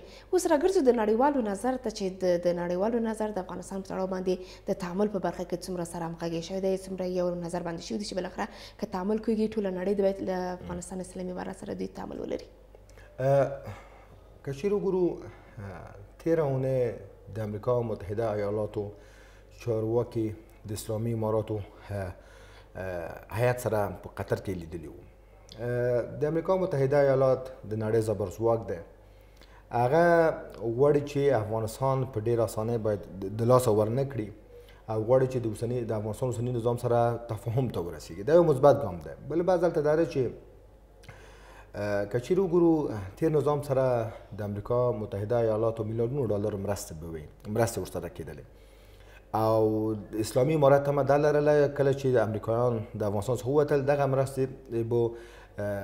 روسیه چین د سیمې او شمنور هیوادونه د اسلامي امارات سبب وکړي ولې دغه مسله تحقق پیدا نه کړ دغه روحیه نه په روسیه کې شته نه په چین کې شته چې دوی د امریکا ځایناسته شي او هغه مرسته د افغانستان اوسني نظام سره وکړي نو په دې اساس موږ ضرورت لرو چې نړیوالو سره ښه تعامل وکړو خاصه د نړۍ زبرځواک سره چې د هغه عبارت دی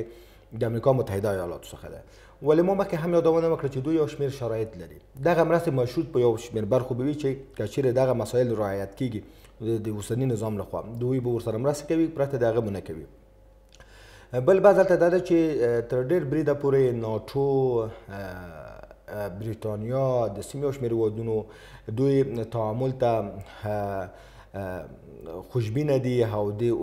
په کراتو دا مسله یاده کړې ده چې موږ تعامل کوو خو اندېښنې لرو موږ اندېښنو ته باید ځواب وویل شي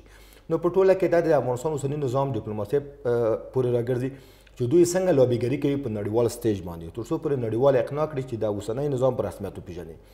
نو د د افغانستان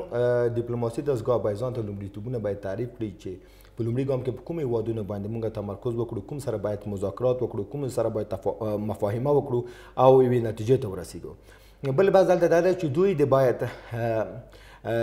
پرته د کومې برنامې باید عمل تر سره نه کړي دوی باید دکتورین ولري دغه دکتورین دی باید متخصصین وغواړي تر دې دمه موږ ګورو چې دوی چې یو شمېر دریځونه هم غوره کوي په بهرني هیوادونو کې چې کوم څرګندونې کوي چې کوم چارواکي ځي دغه منصفانه نه دي دا دا کوی شي چې په افغانستان کې اساسیتونه راوپاروي افغانان چې د دوی باندې نیوکه وکړي انتقاد وکړي د دوی څخه واټن وخلي نو په ټوله کې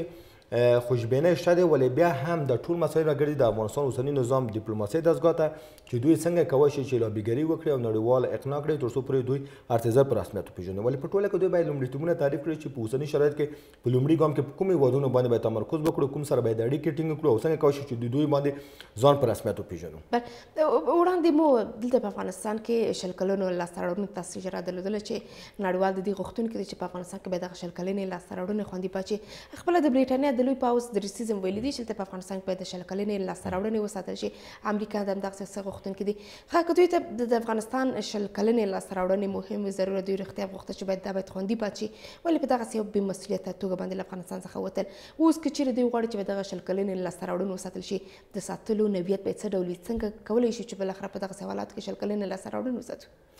ښې مسلې ته مشاره وکړه تر څو پورې چې حقایق برسیره او برملا نشي دغه اندېښنه به افغانان سره وي چې ولې په دې شکل نړیوال ووتل ولې تیر نظام نسکور شو یو اساسي مسله دلته دا ده چې د شل کالو په بهیر کې موږ ولې ولیدل چې نړیوال سازمان د نړۍ زبر ځواک نور هیوادونو هڅه وکړه چې د افغانستان تیر نظام اصلاح کړي اصلاحات پکې راشي کار اهل کار ته وسپارل شي دوی خپل مسولیتونه درک کړي دوی وکړه شي چې ولس ښه خدمات تر سره کړي اما په تاسف دغه کار ونه شو مونږ ول دا چې د یو عادي سرتیر نیول تر قومندان د ټولي پورې تر قومندان د کنډکه پورې د قومندان د لوا پورې قول اردو پورې تر وزیر پورې په فساد کې ښکیلو په تاسف سرباز به چې نور هیڅ په سلو کې 15 فیصد ورته یو مسله و چې مونږ عملا په دې برخه کې سارنه لرله مونږ لیدلې دي نور یې سبب پیدا نه کړ د رینجر نه به تیل باسل تیل به خرڅول قومندان د ټولي چې دی د د قراردادیانو نه د تیلو کې به پیسې ورڅخه اخیستل او هغه خدمات چې باید رینجر تر سر کې باید عملتونه تر سر کې هغه سبې ډډه کوله فساد به کولو د غوښې قراردادي نه به پیسې اخیستل د عسکر په بوټانو کې په آشه کې په باته کې په هر څه کې به اختلاس کولو قوماندان د لوا په همدې شکل، قوماندان د قول اردو په دې شکل، وزیر په دې شکل. بل بعض هلته دا دی اکثریت پوسټونه چې دي یا په اړیکو باندې خلک پکې ګمارل ګمارل کېدل او یا چې دی د پیسو له لارې بل بعض هلته دا دی چې په تاسف سره ډیر زیات تیر نظام کې داسې چارواکي وو چې هغه نفوذي خلک وو د یو شمېر استخباراتي کړیو لخوا دیسان شوي وو دلته استخدام شوي وو دوی ته مقرر شوي وو او دوی چې بهرني وادونو خوشحالۍ لپاره کار کولو بله مسله دلته دا ده چې تیر نظام کې موږ ولیدل چې ژبنیز مسایل ډیر زیات وو قومي مسایل ډیر زیات وو سمتي مسایل نور مسایل دا ټول مسایل کله کله چې مونږ سره راټول کې دا ټول د دې سبب شول چې تیر نظام څخه داسې یو وړاندوینه کېده چې دا دا به ډیر زیات نه پاتې کیږي او نړیوال هم ډیر هڅه وکړه چې تیر نظام اصلاح شي ولې دوی ټول هڅې بې نتیجې وي او بل اخر موږ ولې تر وضعیت دې ځای ته ورسېدل چې د تیر نظام باندې په کابل د ننه چا باور نه کولو نو دا منطق دا جوابولو چې دا نظام به ډیر زر نسکوره کیږي او نسکوره شو په اوسنۍ شرایطو کې د تیر نظام د کړنو څخه باید اوسنۍ نظام د باید عبرت واخلي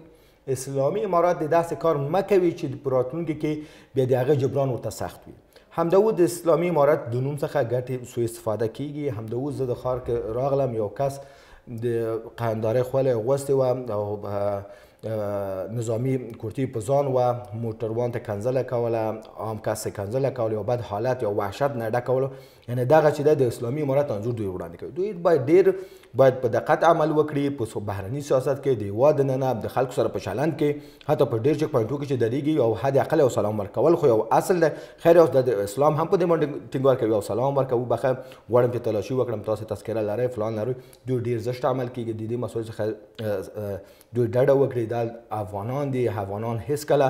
بد عمل بد چلند نه مني نشي زغمای او کچیر دغه وضعیت دوام کوي په راتلونکي کې به د دې جبران به اوسنی نظام ته به ډیر سخت کار وي ډیر زیات مننه ژوندۍ سي زازه سي دشي وسره خیر سي د پوهنتون استاد او د چارشنون کې خغله وزاره خپلواک زازه چې موږ سره بحث کړو سم ځلنډې دمید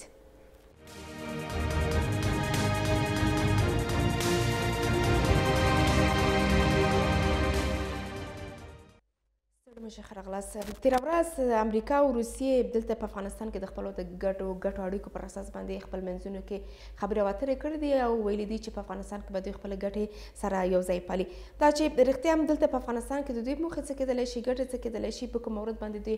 غواړي چې په افغانستان کې خپل ګټو ته ورسېږي پر همدغه موضوعاتو د سکایپ له لارې د چارج لرونکي ښاغلي قریب رحمان شهاب سره بحث لرو سلامونه شهاب صاحب وخت بخیر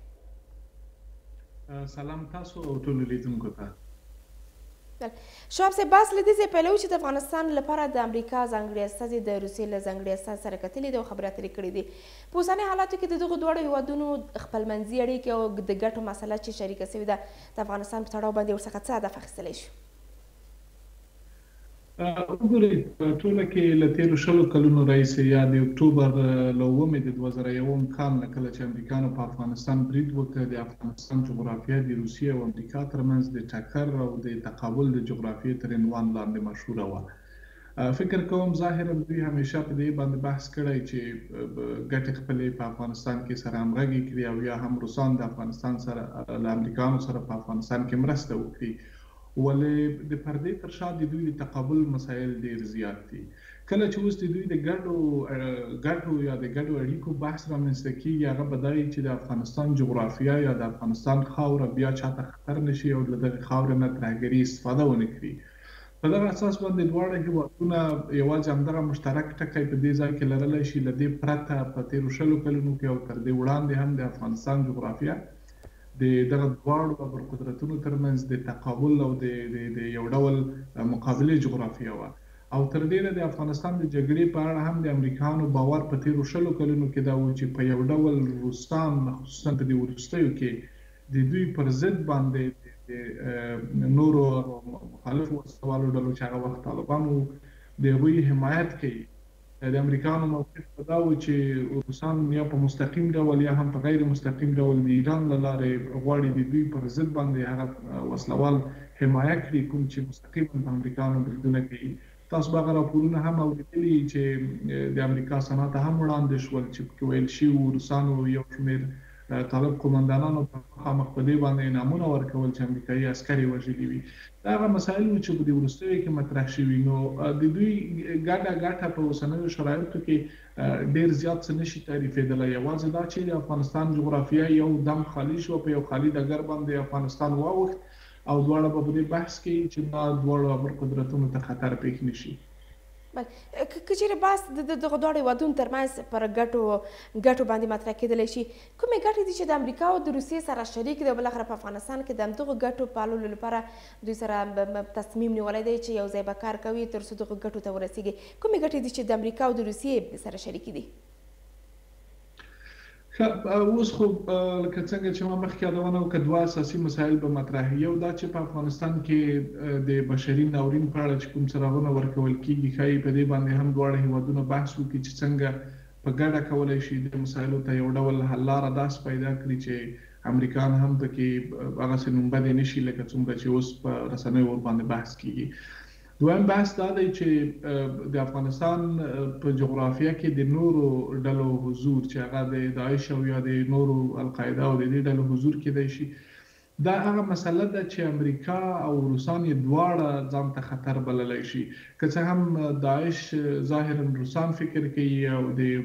روسي ډیرو چارواکو نظر دا دی په ځانګړي توګه د ضمیر کابلوف اکثره خبرې دا یي چې د لویدیځ هڅه دا ده چې ګواکې په یو ډول د افغانستان جغرافیه د دوی د ویرولو لپاره وکاروي. نو اوس چې مسله دې ځای ته رسیدلې ده، ښايي د همدغو مسایلو مدیریت چې افغانستان د چا پر ضد ونه کارول شي او همدارنګه په افغانستان کې روان بشري ناورین یا سختو حالاتو ته په یو ډول باندې داسې حل لاره پیدا شي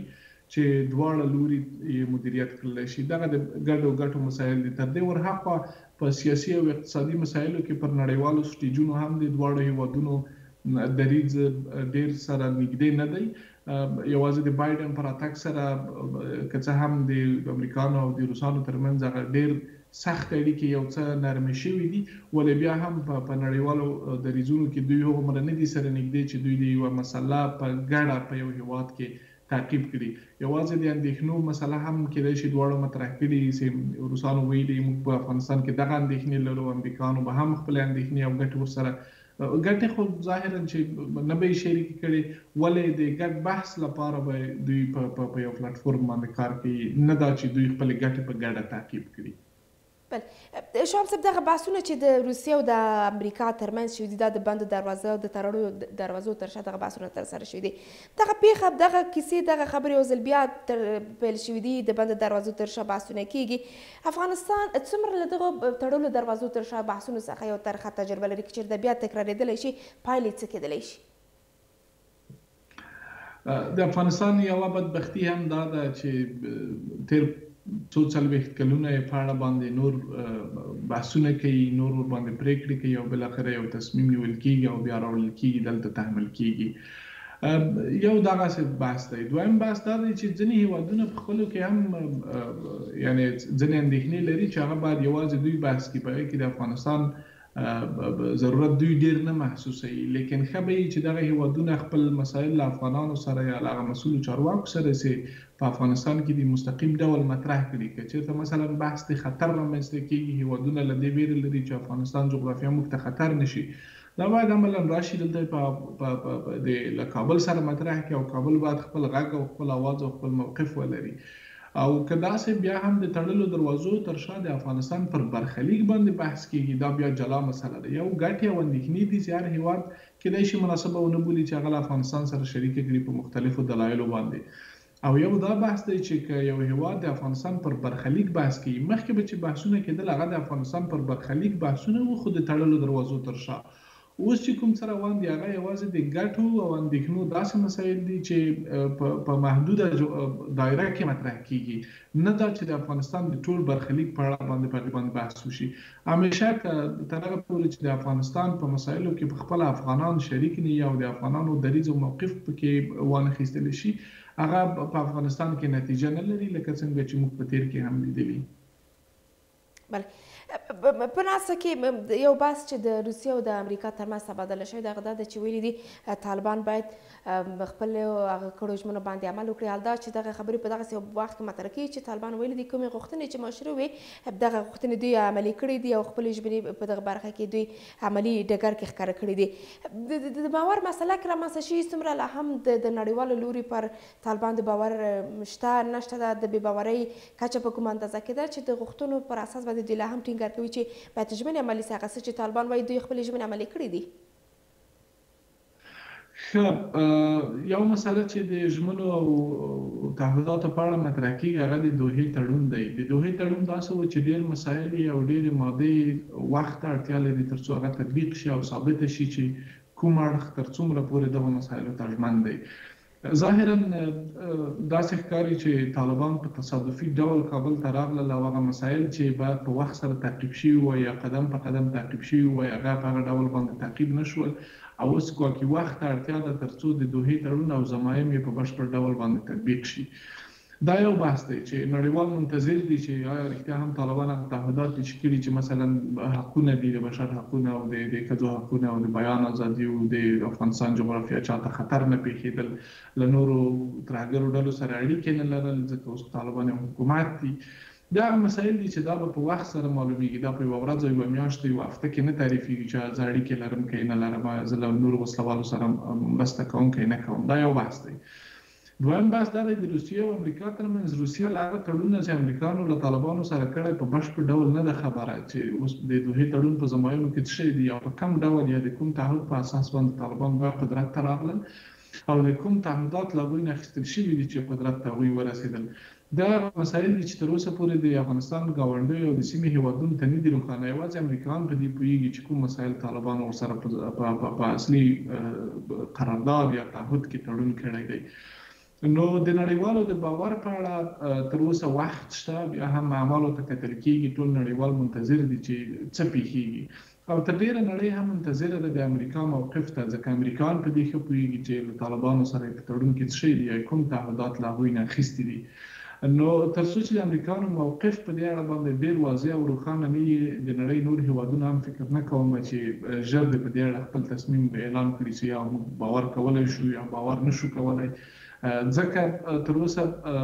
درې میاشتې ډېره موده نه ده چې یو څه باید عملاً ثابت شي چې ایا مثلا نړي کي پري شوي له القاعدي او يا له نورو ډلو سره کنه آيا د بشر حقونو د ښځو حقونو د بيان ازادۍ ته درناوی شته که نشته آيا د افغانستان د له جغرافيي نه بل چاته خطر متوجه کيداي شي کنه که تاسو په دي وروستيو کي د امريکا د دفاع وزارت يا پنټاګون يو راپور کتلي په هغه یو راپور کې ویل شوي وو چې د دې احتمال شته چې افغانستان کې که داعش ډله فعاله شي، په یوه کال کې به امریکا د برید وړتیا پیدا کړي. دغه احتمال سنجۍ هم د افغانستان په خیر نه دي په داسې حالاتو کې یعنې له دې لوري هم باید یو اطمینان موجود وي ځکه که څه هم ظاهراً هره ورځ طالبان او مسؤلین یې اعلان کوي چې د افغانستان جغرافیه نه چاته خطر ده او نه په افغانستان کې داعش او یا کومه بله ډله دومره فعاله ده چې چاته ګواښ شي. خو دغسې راپورونه چې هغه په یو ډول دوه مخي راپورونه ورته ویلی شو هم په حالاتو باندې منفي تاثیر کوي. بله شهاب صاحب که سیاستونو ته راوګرځیږو د دافغانستان په تړاو باندې د نړۍ سیاستونه په کومه کچه کې دي اوس که د روسیې او د امریکا بحث مطرح شي روسیه هغه هیواد دی چې تل به پر امریکا باندې توندې نیوکې کولې چې ګواکې په افغانستان کې امریکا ناکامه سوې ده امریکا یې ناکامه بلله اوس دلته بیا دوی سره یو ځای شوي دي، د خپلو د ګټو اړیکو پر سر باندې بحثونه کوي. سیاست کې څومره بدلون راغلی دی؟ څه ډول بدلون په دغه برخه کې اوس رامنځته شوی دی، که چېرې بدلون راغلی وي؟ اول خو بحث دا دی چې د روسانو په ګډون باندې د سیمې ډېری هېوادونو فکر نه کولو چې امریکایان به په بشپړ ډول افغانستان پرېږدي، ځکه د ټولو باور دا و چې نه، امریکایان په یو ډول په افغانستان کې خپله پښه ساتي او دلته به حضور ولري، یا د سفارت ساتنې په نوم به زرګونه عسکر ولري یا به هم نور مسایل وي، ولې دا چې امریکایانو په افغانستان کې خپل تعداد صفر کړ دا د سیمې د هېوادونو لپاره هم یو تصادف و. اوس د ګډ کار کولو او د ګډ فرصت د امریکا او د روسیې ترمنځ زه ډېر چانس نه وینم او نه شته، ځکه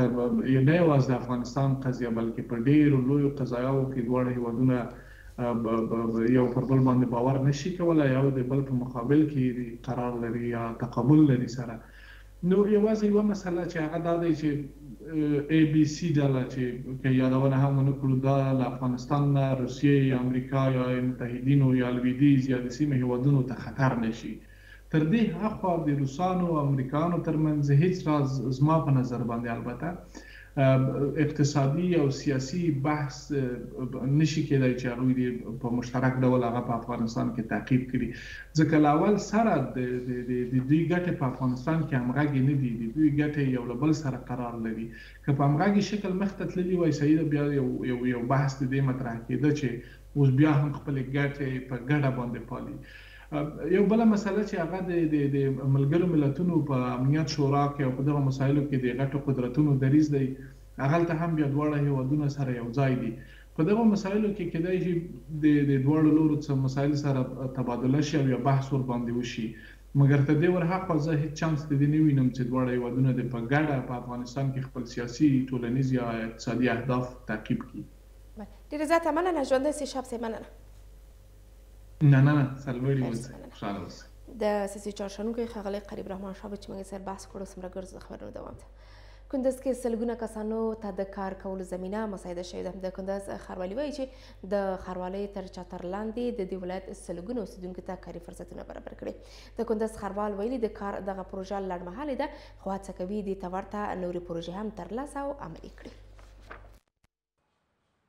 په دې وروستیو کې د هېواد په کچه د بې روزګارۍ او فقر سطحه د بېلابېلو لاملونو له امله لوړه شوې ده. د هېواد په شمال کې کندز هم یو له هغه ولایتونو څخه دی چې د بې روزګارۍ او فقر له اړخه د نورو ولایتونو په پرتله ډېر زیانمن دی او خلک یې په بېلابېلو برخو کې کار او مرستو ته اړتیا لري. تازه دغه ولایت کې د یوې خیریه موسسې له خوا زرو تنو ته د کار زمینه برابره شوې ده. د کندوز ښاروال مولوي الیاس وايي، دغه پروژه د څلوېښت ورځو لپاره ده چې زر تنه په کې موقتاً پر دندو ګمارل شوي دي. د الیاس په خبره، په دې پروژه کې هر یو کاريګر ته د ورځې پنځه سوه افغانۍ ورکړل کېږي.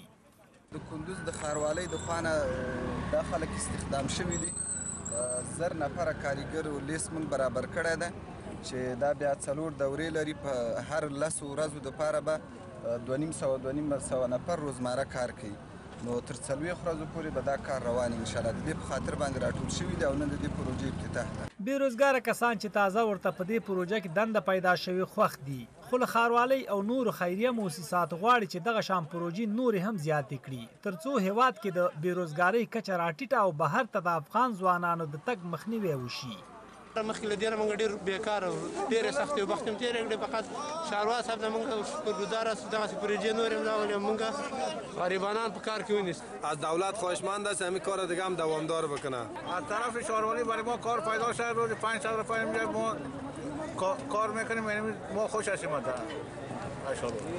دیگه کدام مسیسی که میاد امی غریبا و فقرا یک کمک یک توانایی شوه که اقلا یک پنج تا نان طرف خانه خود دیگر ببریم د کندوز ښاروال ژمنه وکړه که چیرې نورې موسسې هم خلکو ته د کار زمینې برابرولو لپاره کار وکړي دوی یې هر راز مرستې ته چمتو دي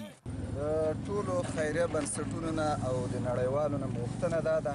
چې را دي شي ډیره ښه د کار زمینه برابره شوې ده په شفاف ډول باندې په عادلانه سیستم باندې کولای شي چې دوی دلته پروژې دغه کی او موږ سره همکاري کوو ان شاء الله په خپل سطح باندې بیروزګاری په هیواد کې تازه خبره نه ده خو د اسلامي امارت له راتګ سره سم په دې شمېره کې په بې ساري ډول زیاتوالی راغلی چې له کبله یې ډېری ځوانان له هېواد ووتل او لا هم دغه لړۍ روانه ده. خلک وايي نړیوال هېوادونه دې افغانستان په رسمیت وپېژني او د افغانستان کنګل شوې پیسې دې بېرته افغانانو ته ورکړي تر څو د بې روزګارۍ او فقر کچه راټیټه شي. عبدالله ساحل، شمشاد نیوز، قندوز.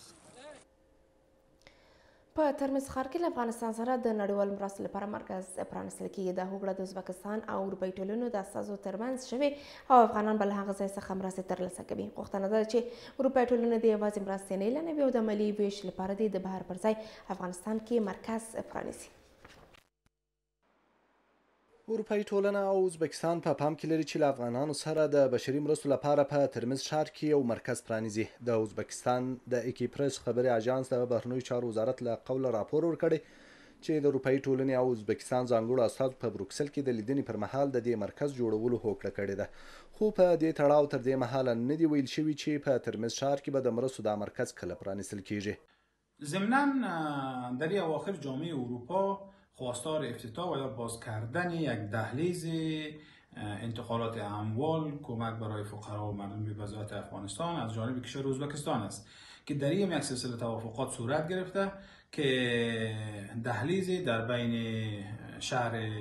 بندری حیرتان و ترمز از جانب ازبکستان دهلی زیر باز میکنن و افتتاح میکنن که از این ناحیه مواد خوراکه و مواد اولیه و مواد سوختی که بر مردم افغانستان کمک میشه وارد افغانستان شود غوښتنه دا ده چې که اروپایي ټولنه له افغانانو سره مرستې کول غواړي کولی شي دا مرکز په دننه افغانستان کې پرانیزي. کوم هیوادو مرستې په واقعیت کړي او واقعیت دی مرستې کو باید کابل ته مستقل مرستې راشي او په افغانستان کې مشکل دی دا مشکل خو ازبکستان او تاجکستان کې نشته دی په نورو هیوادو کې نشته مشکل خو د افغانستان د ولس دی د افغانستان د خلکو دی باید مستقل افغانستان ته د پروازونه راشي د افغانستان د خلکو سره مرسته وشي یو شمېر نور بیا نیوکه کوي چې نړیوالو تر دې مهاله یوازې مرستې اعلان کړي او اړمنو افغانانو ته یې د رسولو عملي بهیر نه دی پیل کړی. د اروپايي ټولنې دغه پرېکړه د دوی ډېره بې ځایه پرېکړه ده، دوی باندې باید اعرا شي، دوی همدغه دفتر په افغانستان کې په د ازبکستان هم فعلا د امنیت د نګاه نه افغانستان الحمدالله بلکل امنیت شوی دی خو دوی دغه ارج مرج او ګډوډي ته او د خلکو پریشانۍ ته خوشحاله کیږي. اروپايي ټولنې د افغانستان ګاونډي هېواد ازبکستان سره داسې مهال افغانانو سره د مرستو رسولو لپاره ترمنځ کې د مرکز پرانیستلو په تړاو خبرې کړي چې د خوړو نړیوال پروګرام یا ډبلیو ایف پي د افغانستان اقتصاد مخ په ځوړ بللی او اندېښنه یې ښودل چې د ژمي موسم کې به میلیونونه افغانان له سختې لوړي سره مخ شي. دغه سازمان ویلي چې دا مهال درویشت میلیونه افغانان د خوارکي موادو له کمښت سره مخ دي او پنځه نوي سلنه افغانانو پورې خوړو ته لاسرسی نه لري.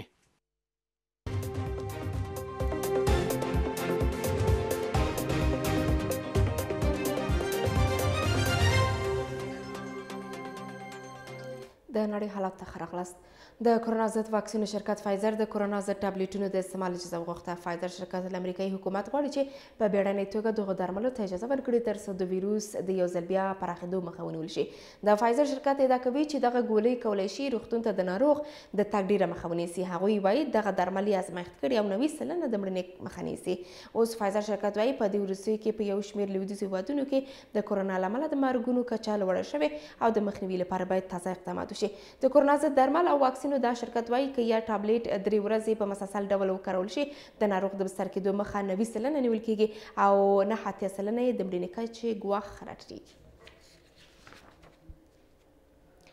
امریکا او چین د ایران د اټومي تړون د تازه کولو په تړاو غږېدلي د امریکا ولسمشر جو بایډن له خپل چینایي سیال سره په تازه خبرو کې ویلي چې باید پر هغو لارو چارو وغږېږي چې څه ډول کولی شي د اټومي تړون په اړه خبرې اترې له سره بیا پیل کړي لویدیځو هېوادونو له ایران سره په 2015 کال کې اټومي تړون کړی و چې وروسته بیا ورو ورو له منځه ولاړ په دغه هوکړه کې د ایران په ګډون شپږ لویدیځ هېوادونه شامل دي په پام کې ده چې یاد هیوادونه د روانې نومبر میاشتې په نویشتمه نیټه د ایران اټومي پروګرام په تړاو ناسته وکړي امریکا له چین سره اوس مهال یوازې څو مهمې مشترکې هوکړې لري چې یوه پکې د ایران د اټومي پروګرام موضوع ده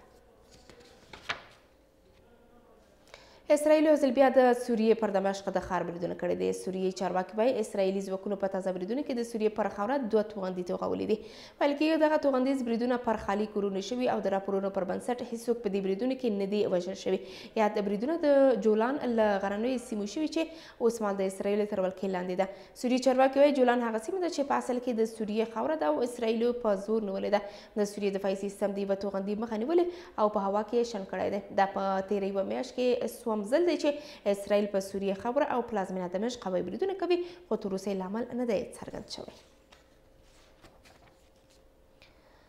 او د نړۍ حالات وروسته خبرم دا چې ایتوپیا کې د بیړني حالات له اعلان وروسته له زرو زیات کسان نیول شوي دي ایتوپیایي چارواکي وایي چې دغه نیول شوي کسان ډیری یې ټایګرین دي چې د هیواد د نامنا کولو هڅه کوي ملګري ملتونه وایي ایتوپیایي چارواکو تر دې دمه کابو زر تنه زندانیان کړي دي په پام کې ده چې په دغه هیواد کې د بیړني حالت اعلان تر راتلونکو شپږ میاشتو پورې دوام وکړي او هغه ملګرو ملتونو ډیره هڅه کړې چې د حکومت او ټایګرین ډلې ترمنځ اوربند وکړي خو تر اوسه په مناسب ډول بریالي شوي نه دي په دغو بیړني حالاتو کې د هیواد په کچه کور په کور تلاشي کیږي او شکمن کسان به ټول نیول کیږي او زنداني کیږي له تیرو دوه کلونو راهیسې په ایتوپیا کې کورنۍ جګړه دوام لري او د حکومت او وسله والو ډلو ترمنځ